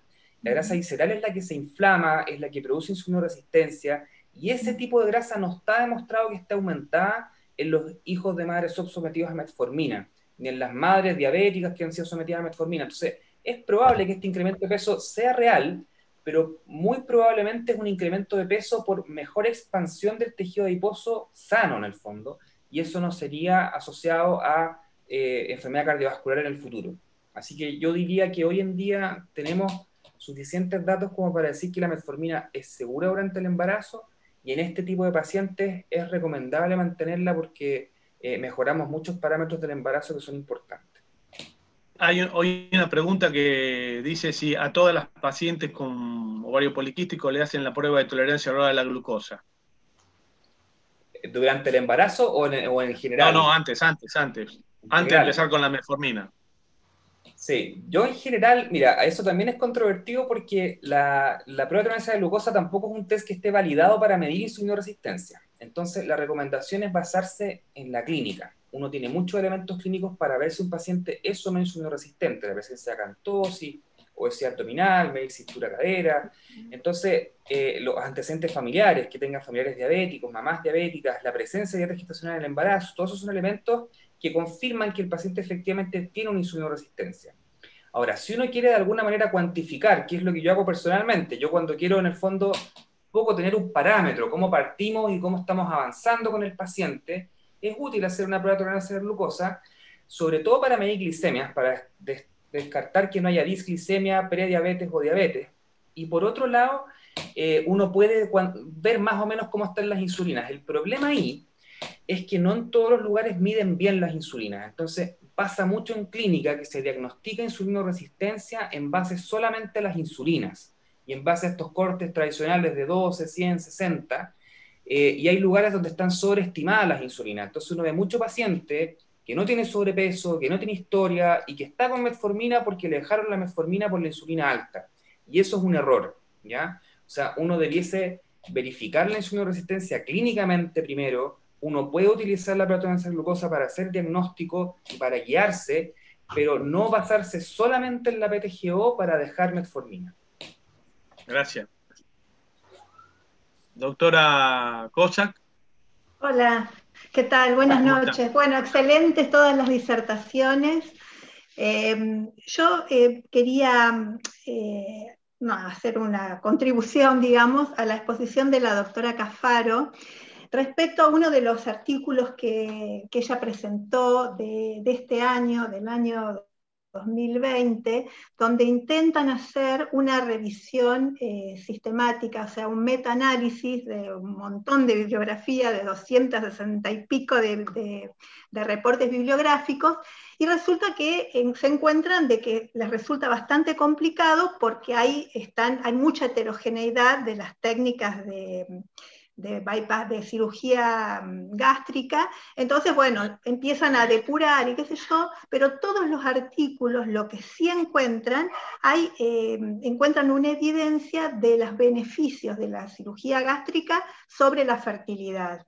Y en cuanto a las hormonas, tanto desde el punto de vista masculino como desde el punto de vista femenino. O sea, en el hombre hay un aumento de la testosterona, sobre todo de la testosterona total, a expensas de aumento de la proteína transportadora, de la SHBG en la mujer aumento de los estrógenos. Entonces todo esto tiende a normalizar en la mujer los ciclos menstruales, mejora el tema del PCO, como ya estuvimos hablando todo, y lo que favorece embarazo y todo esto, o sea que aparentemente, digamos, todo esto ya desde el momento de que el paciente está por entrar a la cirugía gástrica, donde empieza a comprometerse, digamos, con, con su estatus físico, ya empiezan las mejorías, quizás desde el punto de vista también eh, psicológico. Ahora, desde el punto de vista en el hombre, desde el punto de vista seminal, esto no está tan claro, digamos, sí, desde el punto de vista hormonal, pero no desde el punto de vista eh, seminal. Y bueno, el tema de la concepción, ya la doctora lo, lo explicó claramente, Em, así que, bueno, en cuanto a la grelina y a los péptidos intestinales, ya, se explicó eh, respecto a esto, pero no son de dosaje habitual en el laboratorio, entonces digamos que esto ya pasa más para, para la investigación. Ahora yo lo que le quería preguntar al doctor Nicolás es respecto al dosaje de la hormona antimuleriana, desde el punto de vista del laboratorio, porque nosotros siempre cuando nos encontramos con un dosaje de antimuleriana, o sea, primero, ¿para qué se solicita la antimuleriana? Y en general es para ver la reserva ovárica en una mujer ya casi menopáusica o que desea fertilidad y que es anovulatoria, etc. Pero cuando uno se encuentra con valores de antimuleriana muy alto, uno enseguida dice, bueno, esto puede ser un PCO o puede ser un ovario político, puede ser este, una endometriosis, etc. Eh, ¿Hay alguna experiencia respecto al valor de corte con respecto al dosaje de antimuleriana? ¿Se debería agregar, como en las, tríadas del ovario poliquístico, el dosaje de antimuleriana? Es una pregunta controvertida y que han tratado de responder algunos autores. De hecho, los autores, algunos autores franceses, de Whaley, por ejemplo, trataron de establecer un corte que a ellos les dio 60 en su curva ROC de 60 picomolar y ellos tuvieron la intención de incorporar ese corte dentro de los diagnósticos del síndrome poliquístico. La verdad que alguna gente enganchó con eso, otra gente no, eh, porque hay que estandarizarla muy bien la medición de AMH para poder eh, generalizar ese corte a nivel internacional, porque uno compara distintos kits de las distintas generaciones de kits de AMH han ido cambiando y ya se estandarizaron la segunda generación de, de Beckman Coultier, que es como el que más se usa. Eh, y la verdad que eh, en la práctica clínica eh, no, no, no, es tan útil en el fondo porque uno dice, bueno, si yo tengo una mujer que tiene una imagen con un ovario de más de 10 ml, tengo hartos folículos, es lo mismo que voy a medir con AMH, ¿ya? Y efectivamente es mucho más útil cuando uno va a mandar al paciente un reproductólogo para hacerle un procedimiento, porque ahí uno puede decir, mira, si yo tengo una AMH muy alta, a lo mejor tengo que usar menos dosis de gonadotrofina para inducir ovulación, para evitar una polovulación, en el fondo, que es una complicación de la paciente. Eh, para hacer diagnóstico es un tema controvertido. Yo en lo personal no lo uso porque es caro hacerlo acá y no le ofrezco nada más a la paciente que saber que ya tiene más folículos. ¿ya? Ah, si la paciente ya se lo midió, bueno, me sirve y eh, los puntos de corte dependen de la experiencia local. Nosotros acá en mi laboratorio tenemos nuestros puntos de corte propios, pero que nos sirven a nosotros porque lo tendremos estandarizado. Y no es lo mismo que va a medir alguien en una clínica X o en otro lugar lo que se recomienda es que cada centro de fertilidad tenga sus puntos de corte propios y sea una experiencia con la gente del mismo lugar para hacer curvas de AMH adecuadas, porque no sirve lo que manda el fabricante en el fondo. Eso no es lo, no es lo que se va expresar en la población donde yo estoy midiendo esa AMH. ¿ya? Entonces, la verdad que yo creo que es mucho más útil cuando uno está buscando fertilidad en una paciente que está premenopáusica en el fondo para saber si queda o no es mucho más sensible que una FSH o probablemente que una ecografía en ese contexto. En el contexto contrario, que es el de exceso de folículos, una buena ecografía da la misma información, es más barato eh, y la verdad que es igual de útil, yo creo. ¿Puedo hacer un comentario? Tenemos una pregunta este, un poco en relación a lo que dijo Andrea. eh, ¿qué se sabe de la calidad espermática en pacientes que hacen la cirugía bariátrica? Si hay mejoría, si no. Doctora Cafaro. Sí, quería eh, eh, hacer un comentario al respecto cuando la doctora Andrea habló sobre los estudios en hombres. hay algunos trabajos, yo no, lo incluí en la charla de hoy porque era fertilidad en la mujer, pero sí, sí, bueno, en, pero el, en el hombre, sí, sí, sí, por eso, a propósito también de lo que había contado la doctora Andrea, que en hombres lo que se ve, y en particular en el primer año, en, el, estudio seminal, es que ahí puede haber disminución del número de espermatozoides y disminución de la movilidad. Si bien mejora los parámetros hormonales, se ven estos, estos resultados y puede estar relacionado con la malnutrición, ¿no? La producción de, espermatozoides es continua en la vida del hombre, o sea, en, edad fértil, distinto de los, óvulos en la mujer, Entonces puede ser, yo creo que está relacionado, es, mi opinión, a la, desnutrición terapéutica que eh, tienen el primer año post cirugía bariátrica, y en particular en los que no toman los multivitamínicos, que los multivitamínicos son suplementos de manera crónica, que es para prevenir el déficit. Entonces, en esta, cuando eh, en realidad no hemos tenido en, consultas al respecto, pero hay trabajos que, detallan que hay eh, menor calidad de, de, espermatozoides. Sí, sí. Son poquitos los trabajos, pero, pero hay, sí. Hay otra pregunta que dice eh, si hay algún tratamiento multivitamínico especial para la paciente que se operó y que va a buscar embarazo, si hay que darle qué tipo de multivitamínico se le da. Sí, eh, eh el, multivitamínico eh, para, o sea, todos los pacientes están con dos suplementos, porque en la Argentina no hay un, suplemento de vitaminas que cubra todos los requerimientos para esta población, entonces eh, se cubren con las vitaminas liposolubles y con las hidrosolubles, son dos comprimidos días, y aparte citrato de calcio con vitamina D. Se trata de cubrir 1500 de miligramos de calcio por día y vitamina D hasta llegar a valores normales de vitamina D.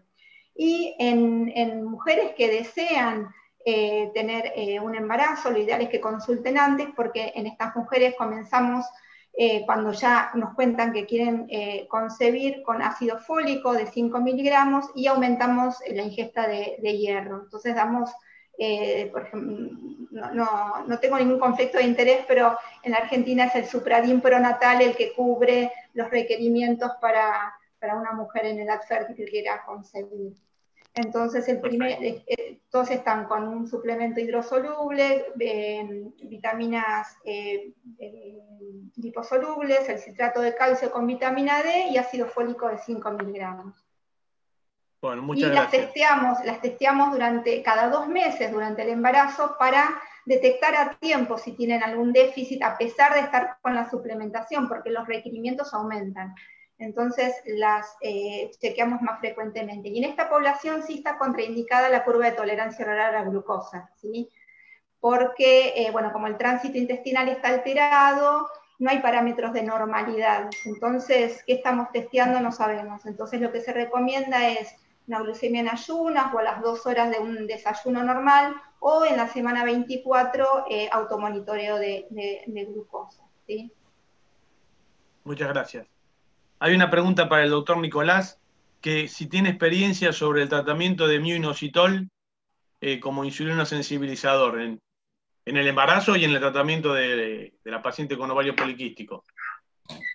Sí, la verdad que es un tratamiento un poco más nuevo, tiene menos evidencia que la metformina, pero en la experiencia personal a mí me veo bastante bien con los inositoles. Nosotros acá tenemos un, uno que se llama Fercitol, que es una mezcla ácido fólico con mioinositol y se usan generalmente 2 gramos cada 12 horas.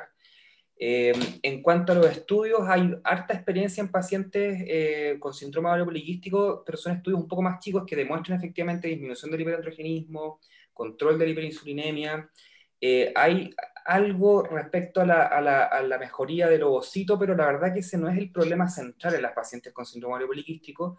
Y hay estudios que han demostrado incluso mejor efecto que con metformina.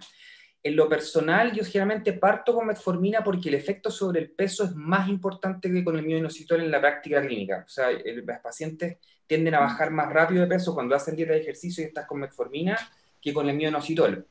Eh, sí lo uso mucho en pacientes que no toleran bien la metformina.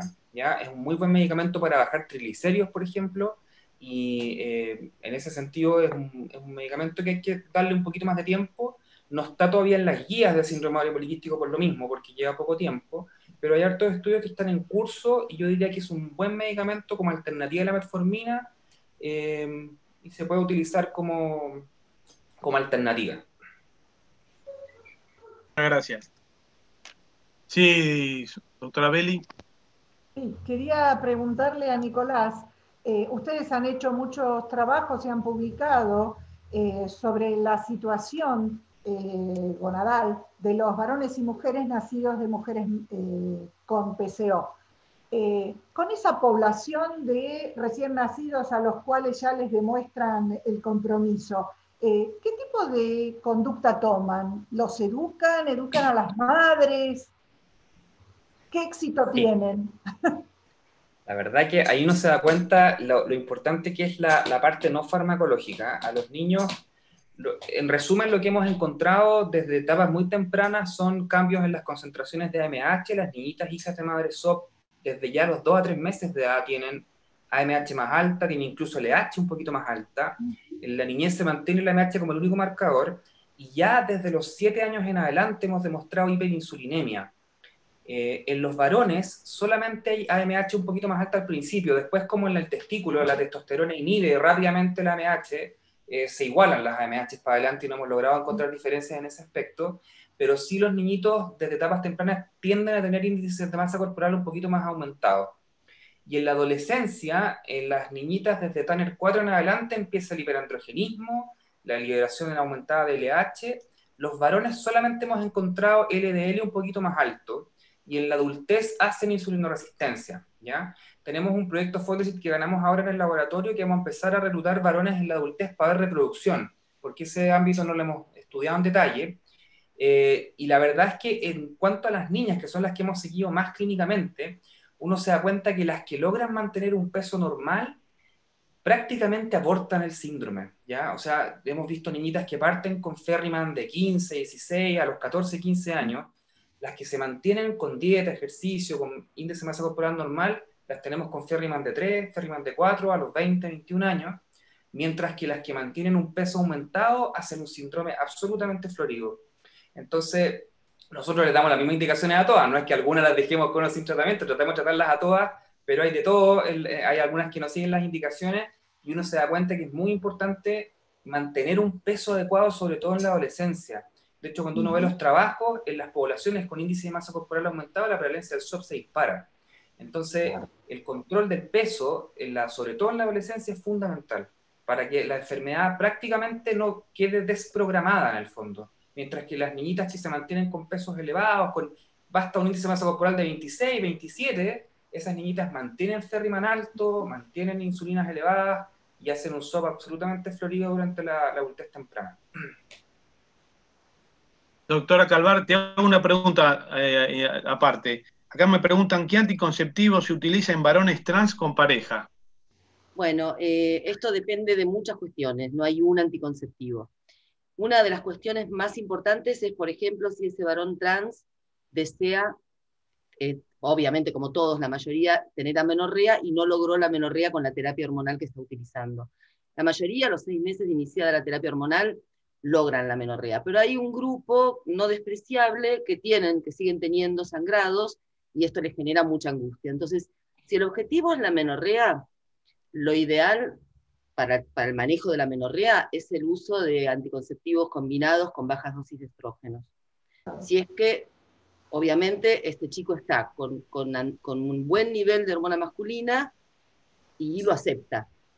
Si no acepta el uso de estrógenos, porque ya la palabra estrógeno le genera algún tipo de afectación psicológica, se le puede ofrecer el, el DIU, el digamos, el DIU con levonorgestrel, que logra muy buenas opciones de amenorrea y además es un buen anticonceptivo. Si el chico ya está en amenorrea y no tiene, y en ese momento, solamente con la hormona masculina logró la amenorrea, las opciones son muchas. Se pueden utilizar el, el, el, el anticonceptivo que se utiliza para la lactancia, de sogestren o se pueden utilizar los eh, implantes de progestágenos que también tienen son muy buenos como anticonceptivos, aunque no son tan buenos para el logro de la menorrea. Y por supuesto, los métodos de barrera, nunca nos olvidamos, porque todo esto siempre y cuando tenga una pareja estable, ¿no? Si, es un chico que no tiene pareja estable y está, tiene relaciones vaginales receptivas con pene, nosotros siempre aconsejamos los métodos de barrera. Aunque en la población de varones trans el VIH es similar a la frecuencia de la población general, no así en la población de mujeres, que es del 35% la prevalencia, de todas maneras, es bastante frecuente que después de un tiempo de utilizar hormona masculina, los varones cambien su orientación sexual y también es muy común que terminen teniendo sexo con mujeres trans y por lo tanto ahí entran en un riesgo mucho mayor. No sé si responde bien la pregunta. Gracias. Bueno, perfecto. Tengo una pregunta para, para el Nicolás. Me preguntan qué opinión tiene sobre las pacientes con poliquistosis y hormona antimuleriana alta que supone que tienen folículos de peor calidad, si eso las invalidaría para hacer un congelamiento este, ovocitario. No, para nada. Eh, la verdad que la, hay, hay es controvertido esto de que la calidad ovocitaria sea necesariamente mala. La verdad que uno lo que ve en la práctica es que son folículos normales, con ovocitos normales, y que eh, el problema es el número de folículos que impide la ovulación. Estas pacientes tienden a a responder muy bien a terapias de inducción de ovulación. Entonces, si la paciente quiere preservar esos ovocitos, la verdad que debiesen funcionar igual que los ovocitos de una paciente eh, sin síndrome ovario poliquístico. Gracias. Patricia. Ah, bueno, sí, Patricia. No, perdón, bueno, gracias. Eh, no, para la doctora Cafaro, eh, si tiene, hay alguna referencia que yo había leído con respecto a la, a la hormona antimuleriana, que en la cirugía de la obesidad se había encontrado disminuida en, un trabajo que había leído eh, y que esto a medida que pasaba el tiempo de la cirugía eh, iba siendo más acentuado ese descenso de la hormona antimuleriana. Y hablaban de que podía ser por factores eh, tóxicos o disruptores que se liberaban del tejido adiposo y que eso dañaba la célula de la granulosa. Si tenía alguna referencia con respecto a, la hormona antimuleriana y cirugía bariátrica. Eh, no, no tengo referencias, no, no, no. Porque bueno, esto me parecía interesante porque inclusive en ese trabajo las comparaban con ovario poliquístico y tenían más disminución las, pacientes no ovario poliquístico, así que me, pareció que era interesante. Ah, este, bueno, y, sí. sí. no, meterme, yo sé que no, es mi, tema de experticia, pero ah, yo sé que hay una correlación negativa entre índice de masa corporal y AMH que nosotros no hemos logrado comprender muy bien por qué ocurre, pero hay trabajos que lo reportan eh, en ambos sexos, en el fondo, que da la impresión de que hay una correlación entre peso y AMH. Eso la verdad que se describe, pero no, yo no conozco muy bien la fisiología que está detrás de eso. Gracias. Eh, ¿Puedo hacer un comentario para Nicolás? Eh, me, sorprende esto de las hijas de madres con ovario poliquístico, que como vos comentás, las que se mantienen bajo peso o peso normal no desarrollan las características del síndrome. Yo sé que son poblaciones diferentes, las nuestras de las de ustedes, por supuesto, hay otro tipo de alimentación y seguramente estas niñas tal vez no tengan la misma, el cuadro genético completo tal vez que tienen las madres, porque nosotros acá en la Argentina tenemos un alto porcentaje de, mujeres con ovario poliquístico delgadas, con alto Fatima Galway, y incluso tenemos algunas, como decías vos antes, lo de la insulinemia y la delgadez, que tal vez tienen niveles de insulina postprandiales en la curva de tolerancia muy elevados y son delgadas. Sé que son etnias diferentes y que no podemos compararlas, pero te pregunto si vos pensás que son diferentes los ovarios poliquísticos de las madres que esto de las niñas que si no aumentan de peso no desarrollan el síndrome. Bueno, ahí yo siempre digo, esto es un síndrome, entonces nosotros probablemente en el futuro ya dejemos de decirle síndrome porque no es una enfermedad, eh, no es como, como que todos tienen lo mismo. Yo creo que las mujeres llegan al síndrome ovario poliquístico por distintas rutas. Entonces, en el caso nuestro, eh, la prevalencia de insulinoresistencia en Chile es altísima, muy probablemente por la combinación genética que tenemos de, de España del Sur mezclado con Mapuche, que tienen mucha, mucha insulinoresistencia. Entonces, probablemente en el caso nuestro, la, la vía de llegada al síndrome ovario tiene mucho que ver con insulinoresistencia y obesidad, ¿ya?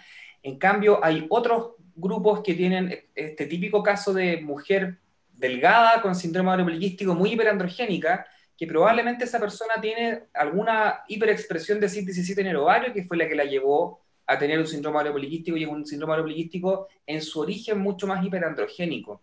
Y por lo tanto ahí el, el, beneficio que tiene la bajada de peso es nulo prácticamente. Uno ahí tiene que usar para su manejo mucho más anticonceptivos, antiandrógenos. A esas pacientes así hay que hacerles inducción de ovulación porque en el fondo la bajada de peso no les sirve.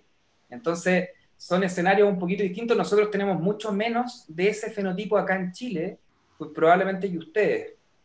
Entonces, sí, hay, en el caso de nosotros, muy probable, el, peso tiene mucho más influencia sobre la expresión del síndrome. Tengo dos preguntas para el doctor Nicolás. Una, ¿qué importancia le da al aumento de prolactina que se ve en la paciente con ovario poliquístico? Y la segunda, si utiliza el GLP-1 en pacientes para ayudar a bajar de peso antes de, buscar el embarazo.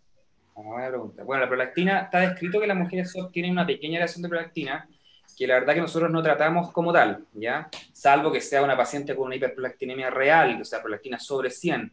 La mujer con síndrome poliquístico habitualmente tiene prolactinas de 30 y tanto, 30, 40, y muchas pacientes que tienen esas elevaciones de prolactina que son muy parecidas a las elevaciones de prolactina que se ven con anticonceptivos, que tienen que ver con el exceso de estrógeno y que no tienen repercusión sobre la ovulación. Entonces eso no hay que tratarlo con cabergolina ni dejarle tratamiento a esa hiperprolactinemia leve que tiene la paciente SOP. Solo si está en el rango hiperprolactinemia y se demuestra una secreción hipoficiaria elevada de, prolactina por un adenoma. ¿ya? Eso, eh, y es muy frecuente de ver. Está descrito que la paciente SOP tiene una pequeña hiperprolactinemia. Respecto al, al liraglutide o a los análogos de GLP-1, eh, hay trabajos que han demostrado que en la paciente SOP se pueden utilizar. ¿ya? Yo en lo personal, por una cosa como fisiopatológica, tiendo a no usarlos y trato de exprimir al máximo el efecto de la metformina, porque si uno lo piensa fisiopatológicamente, el análogo de GLP-1 lo que está haciendo es inducir más secreción de insulina, aparte de la, de la saciedad que produce a nivel central. el, efecto que tiene el análogo de GLP-1 sobre la reducción de peso tiene que ver con el control de la saciedad. Eh, porque tienen un efecto a nivel hipotalámico, eh, pero por otro lado, al mismo tiempo, inducen más secreción de insulina. Entonces, se pueden usar combinados, está demostrado en la literatura, se pueden usar por sí solos. Yo en lo personal los uso poco porque son caros y generalmente se logra un buen efecto con baja de peso, ejercicio y metformina. Ahora, si uno lo quiere probar, lo puede hacer porque está respaldado en la literatura. Hay trabajos con liraglutide en pacientes SOP que logran reducción de peso. Pero yo en lo personal trato de, no usarlo. Tengo otra pregunta que dice si el hiperandrogenismo en las pacientes con ovario poliquístico que se embarazan tiene repercusiones en el feto con respecto a su elección sexual posterior. El efecto a nivel del sistema nervioso. A nivel central.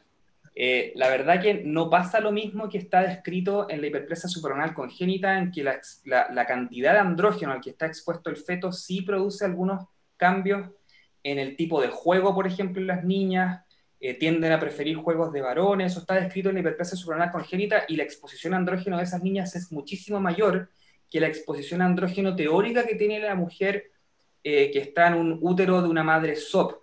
De hecho, discutido todavía, nosotros hemos planteado varias teorías respecto al hiperandrogenismo y sus repercusiones sobre el feto, pero no está demostrado que realmente pase una gran cantidad de andrógeno. De hecho, hay dos estudios de sangre cordón venosa en hijos de madre SOP, uno dice que están aumentados y otro dice que no.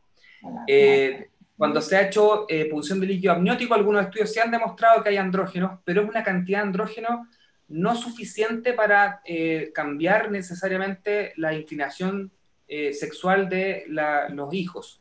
Sí se ha demostrado en algunos estudios más autismo en, los, en la descendencia de, de madres SOP en trabajos grandes, eh, y pudiese haber alguna influencia sobre la corteza prefrontal y la capacidad de la corteza prefrontal de inhibir los impulsos desde la amígdala, desde el sistema límbico, y eso se ha estudiado bastante porque pudiese tener algunas repercusiones en las mujeres SOP en relación a ansiedad, eh, a trastornos depresivos, y eso nosotros lo vamos a empezar a estudiar en un proyecto que postulamos este año, pero en relación a cosas como más gruesas, como la elección de pareja sexual y ese tipo de cosas, no hay nada demostrado. Ya contestó también una que había sobre eso de autismo y menor rendimiento escolar, así que ya está contestada también la pregunta. Sí, Hay una para la doctora Calvar que dice terapia hormonal en pacientes trans y asociación con cáncer. Si tiene antecedente de cáncer, ¿es contraindicación para hacer tratamiento? Eh, sí, es una pregunta muy importante. Si tiene antecedentes personales de cánceres de órganos, hormonos sensibles, la contraindicación es absoluta para iniciar tratamiento. Si tiene antecedentes familiares de cáncer en órganos hormonosensibles, ahí uno tiene un poquito más de cuidado. Por ejemplo, eh, hace poquito atendí una mujer trans, eh, una adolescente trans, que en el marco de la historia clínica me comenta que su mamá falleció a los 23 años de cáncer de mama. Bueno, esos son los casos en los que es muy importante el estudio genético, porque sabemos que el cáncer de mama en el varón cis se asocia mucho con eh, los cánceres genéticos con mutación del BRCA. Entonces, va a recibir terapia hormonal. En los últimos estudios que, muy recientes, hasta hace dos años, se decía que prácticamente no había un mayor riesgo de cáncer de mama en las mujeres transhormonizadas, pero en los últimos estudios se vio que habría un ligero mayor aumento que la población de varones cis y que eh, los cánceres que aparecen aparecen con pocos años de hormonización y en personas más jóvenes. Por lo tanto, en un caso como este, creo que el estudio genético sería mandatorio si uno va a hacer una terapia hormonal. Este, y después está el tema del cáncer de próstata, que también es, un, que es muy bajo en esta población, pero bueno, si hay antecedentes familiares, uno los mira de otra manera. Y, te voy a hacer otra pregunta que te la voy a leer porque es medio larga.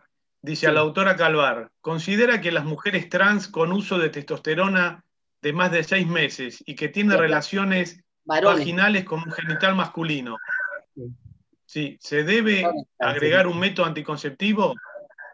Eh, me imagino que está hablando de varones trans está con testosterona es un varón trans y que tiene relaciones con acceso vaginal. Eh, a ver, seguir. tiene relaciones sexuales vaginales con genital masculino. Sí, sí, ese es el caso típico. ¿Se debe agregar un método anticonceptivo? Sí, sí, ese es el caso típico que hay que aconsejar anticoncepción. Y en caso de que tuvieran un accidente, también es importante decir que la píldora del día después no está contraindicada para esta población y se puede utilizar. Pero ese es el caso típico en que uno tiene que recomendar un anticonceptivo. Perfecto. Pero es un varón. ¿Alguna otra, acotación? Sí, Patricia. Ah, no, perdón. Eh, quiero eh, preguntarle al doctor Crisosto. Eh, en realidad, en, un, en una paciente PCO, pero delgada, digamos, aunque no sea el fenotipo este, que, que ven más habitual, que busca fertilidad, eh, igualmente, y, que, por ejemplo, que no tenga intolerancia a la glucosa, porque la verdad que yo soy bastante reacia en, este tipo de fenotipo a indicar metformina, que no tenga intolerancia a la glucosa y eh, que busque fertilidad. Eh, igualmente le inicias metformina, por ejemplo, antes que clomnifeno ahí si es que no hay nada, nada, nada de resistencia, yo creo que no, no se justifica, ¿ya? Eh, pero en el caso de, nuestra casuística son pocas, pero efectivamente ahí yo creo que hay que ir directamente a una terapia de inducción de ovulación, ¿ya? Porque si no tiene acantosis, no tiene insulina alta... Claro, y no tiene hiperglicemia clínica. mire, la, la, metformina tiene un efecto várico, o sea, la metformina está demostrado en cultivos de células de la teca que baja la expresión de las enzimas androgénicas uno basado en eso, que es, que eh, evidencia in vitro, pudiese probar la metformina un par de meses, ¿ya? Pero eh, uno tendría que pasar rápidamente después de un par de meses a una terapia de inducción de ovulación, porque si no la paciente va a perder tiempo, la verdad. Claro, claro. Yo tengo una pregunta para la doctora Cafaro o para el doctor eh, Nicolás. ¿Qué rol tiene, ahora que está tan de moda y que a veces hay más trabajo, sobre la microbiota, tanto en el ovario poliquístico este, que aparentemente hay cambios, lo que pasa es que no sabemos cómo se solucionan, o mismo como dijo la doctora, después de la cirugía. Si esos cambios tienen alguna importancia. Sí, eh, hay trabajos que reportan que hay cambios ¿no? para una microbiota favorable después de la cirugía bariátrica y tienen que ver tanto el cambio que ha hecho la paciente con los hábitos más saludables en el plan alimentario como también la cirugía, eh, en especial el bypass gástrico en IDERU. Pero particularmente es el tipo de dieta. ¿sí? el cambio de dieta que hace para que cambie la microbiota. No sé si Nicolás querés agregar algo más, pero es básicamente la dieta. De acuerdo, sí, también hay, uno puede explicar prácticamente todo con la microbiota, es una cosa, eh, eh, está metido en todo. Sí, estoy de acuerdo que tiene que ver con los cambios en la dieta y, efectivamente hay efectos eh, sobre, la, sobre la microbiota. Perfecto. Tengo otra pregunta para la autora Calvar, que las voy a leer porque son medio largas. ¿Se puede usar en un varón trans conjuntamente tratamiento cruzado con testosterona y el DIU hormonal para conseguir amenorrea? Sí, sí, es, un, poquito lo que había dicho antes yo, ¿no? Que el DIU con levonorgestrel está totalmente avalado en esta población. Eh, y es un muy buen método anticonceptivo que además induce amenorrea, o sea que, y que dura en el tiempo, o sea que es ideal para esta población. El único tema es este, que acepten colocárselo. Generalmente si es un chico trans que tiene relaciones con acceso vaginal, no va a tener tanta dificultad para la colocación del DIU. también se, plantea el DIU con levonorgestrel para poblaciones que no tienen eh, relaciones con acceso vaginal y tienen mucha dificultad para conseguir la menorrea. Pero esos son más difíciles de convencer, ¿no? Porque en general tienen mucha dificultad con todo lo que entre por la vagina. Acá tengo otra, hay unas cuantas preguntas. Para la doctora Cafaro, ¿cómo utiliza la vitamina D3 en las pacientes con cirugía bariátrica? ¿En forma de depósito o en forma de gotas semanales? Se pueden utilizar cualquiera de las dos formas. Gotas semanales o eh, cápsulas o ampollas bebibles eh, cada 15 días o, una vez por mes. Siempre lo que lo que se quiere llegar a el valor normal que es de 30 nanogramos por mililitro. Y es alta la prevalencia al déficit de vitamina D en mujeres, eh, bueno, y en hombres eh, obesos con obesidad antes de la cirugía bariátrica. Todos los testeamos antes de, la cirugía, cuando hacemos el tratamiento prequirúrgico, y es muy alta la prevalencia en esta población. Alrededor del 80% tienen déficit de vitamina D que puede ser por la acumulación en el tejido adiposo, por la baja exposición solar, ¿no? al estar más tapados, más cubiertos, por el tema de, la imagen corporal, hay, múltiples factores, pero es muy alta la prevalencia y, se, indica eh, testearlos. Gracias. Y generalmente después también hay que seguirlos con, una dosis eh, para que no, no tengan déficit. Perfecto. ¿Algún otro comentario? Yo quiero preguntar. Ah, quiero preguntar. Susana. ¿Puedo preguntar? O Andrea, Andrea, que levantó primero. Dale, lo mismo. Yo le quiero preguntar a la doctora Cafaro si ya eh, hay varios reportes que demuestran una disminución de la calidad espermática en el hombre post cirugía bariátrica, si no se plantea la criopreservación antes de la cirugía. Sí, eh, Andrea, como expliqué antes, hay trabajo, pero no son en gran cantidad. Este, no, no hay una no hay estudios multicéntricos, eh, randomizados, controlados, donde evalúan pre-cirugía, post-cirugía en, el mismo, en el mismo hombre, ¿no? Entonces, eh, no se puede llegar todavía a esa indicación. Sí, no, no, no hay evidencia, pero eh, habría que comentarlo esto, ¿no? Al hombre antes de la cirugía, pero no, no hay una evidencia firme. Susana. Yo, eh, para Cecilia Calvar, eh, quería hacerte dos comentarios. Eh, cuando vi algunas hiperplasias suprarrenales, formas virilizantes simples, de mujeres que no habían recibido tratamiento y que llegaban a una edad temprana, alrededor de los 40 años, ya con compromiso cardiovascular, con trastornos de los lípidos, con arteriosclerosis. ¿Qué esperás en los pacientes que, que reciben trans, que reciben testosterona? Y además, eh, ¿se acuerdan que dejamos de usar la terapia hormonal de reemplazo rutinariamente porque hubo una mayor incidencia de cáncer de mama y de accidentes cerebrovasculares? Sí. Bueno, con respecto a la enfermedad cardiovascular en la población de hombres trans, hasta el momento, si bien tienen todo el perfil, digamos, tienen más aumento del LDL, disminución del HDL, tienen aumento de los triglicéridos, tienen aumento del hematocrito, que son dos parámetros que a uno los llevaría a preocuparse por eventos cardiovasculares. Hasta el momento no se reportó un aumento de eventos. Y sí se reportó un aumento de eventos en la población de mujeres trans bajo terapia hormonal, que tienen claramente un aumento del riesgo de trombosis venosa algunos estudios la llevan hasta el 6% el aumento del riesgo de trombosis, y a diferencia de lo que ocurre con las mujeres cis con anovulatorios, ese aumento del riesgo se mantiene en el tiempo. No es que aumenta el primero el segundo año y después va disminuyendo. Entonces es un tema preocupante. Y sí se ve un mayor riesgo de tanto de accidentes cerebrovasculares como habría un mayor riesgo de infarto también y en edades más tempranas. Esto no se vio en la población de hombres trans. A mí me parece que falta tiempo. Si vos me preguntás cuál es mi opinión personal, yo creo que falta tiempo. ¿Por qué? Porque cuando yo miro los estudios que evaluaron este tipo de situaciones, cuando yo evalúo la N de pacientes, algo pasó en la historia de la humanidad que los hombres trans se empezaron a visibilizar en los últimos años. Todos los estudios, tanto de Alemania como de Holanda, que son las poblaciones más seguidas, más controladas, que tal vez tienen un grupo de un 15% de personas mayores de 60 años que recibieron 30 años de terapia hormonal, vos ves que son 3.000 mujeres trans y 700 hombres.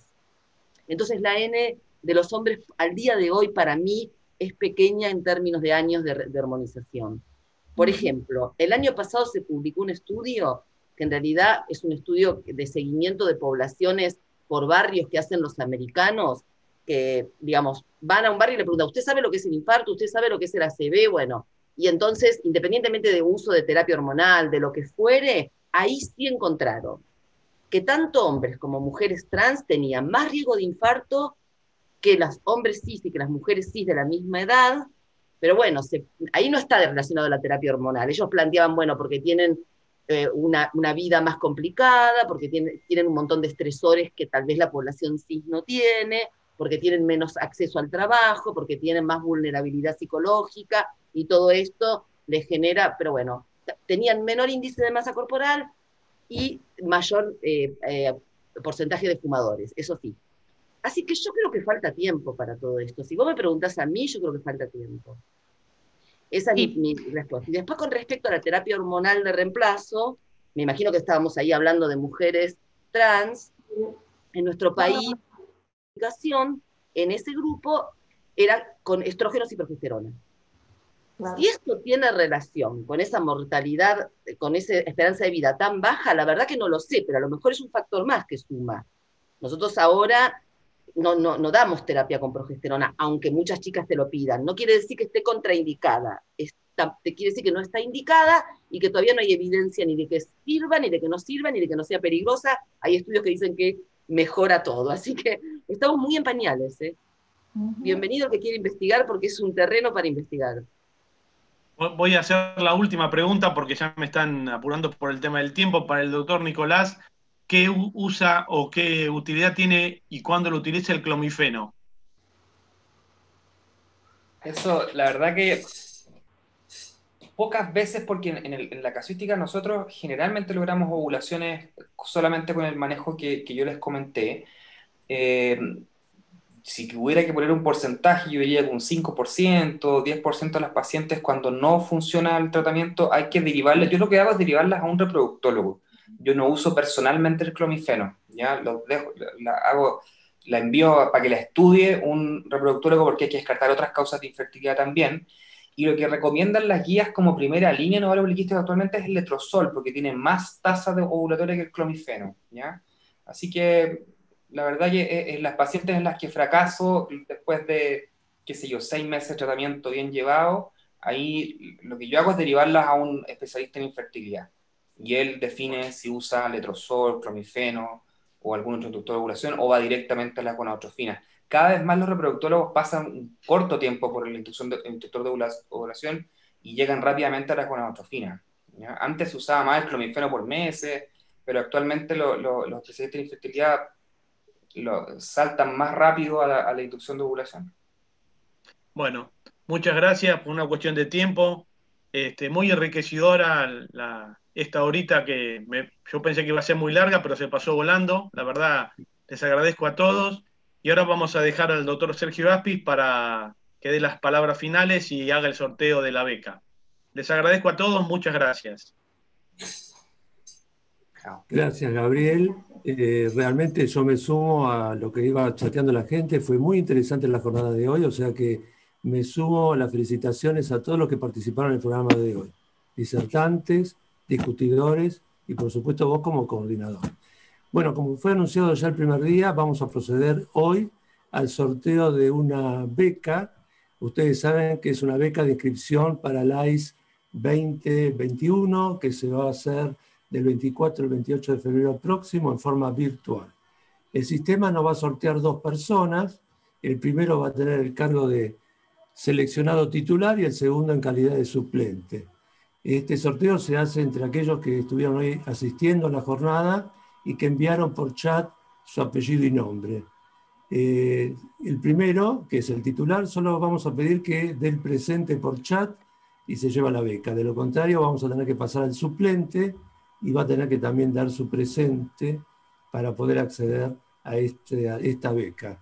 Así que eh, yo espero que Patagonia, que tiene la plataforma y la conectividad y el sistema de sorteo, eh, largue esos dos nombres. Recuerda que el primero es el titular el segundo es el suplente. Y vemos quiénes de ellos está presente.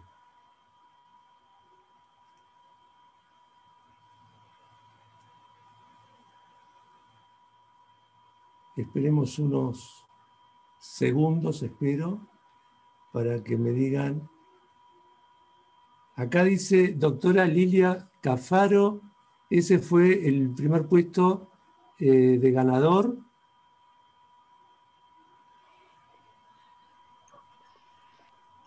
Doctora Aspiz, los ganadores son Alejandra Valdés Ortiz, titular, ah, y suplente Diana Pezzuti. Entonces, ¿podés repetir el primero y que nos dé el presente, así ya sabemos que ella es la ganadora? Por supuesto, es la doctora Alejandra Valdés Ortiz, es la ganadora titular y ya dio el presente. Ah, perfecto, listo, bueno, ya está concedida. Igual eh, mañana sorteamos otra beca, así que vamos a proceder exactamente igual. Eh, felicitaciones Gracias a todos y bueno, nos veremos mañana. Recuerden que al finalizar la jornada de mañana se va a editar la grabación de esta jornada, de estos cuatro días, y la vamos a subir a la página de SAEM, por lo cual vamos a poder repasar algún tema de interés y también repasar las preguntas que originaron discusiones muy interesantes. Así que gracias a todos, felicitaciones a la ganadora y nos reencontramos mañana, el último día el programa ya lo conocen, a las 19 horas. Gracias, buenas noches.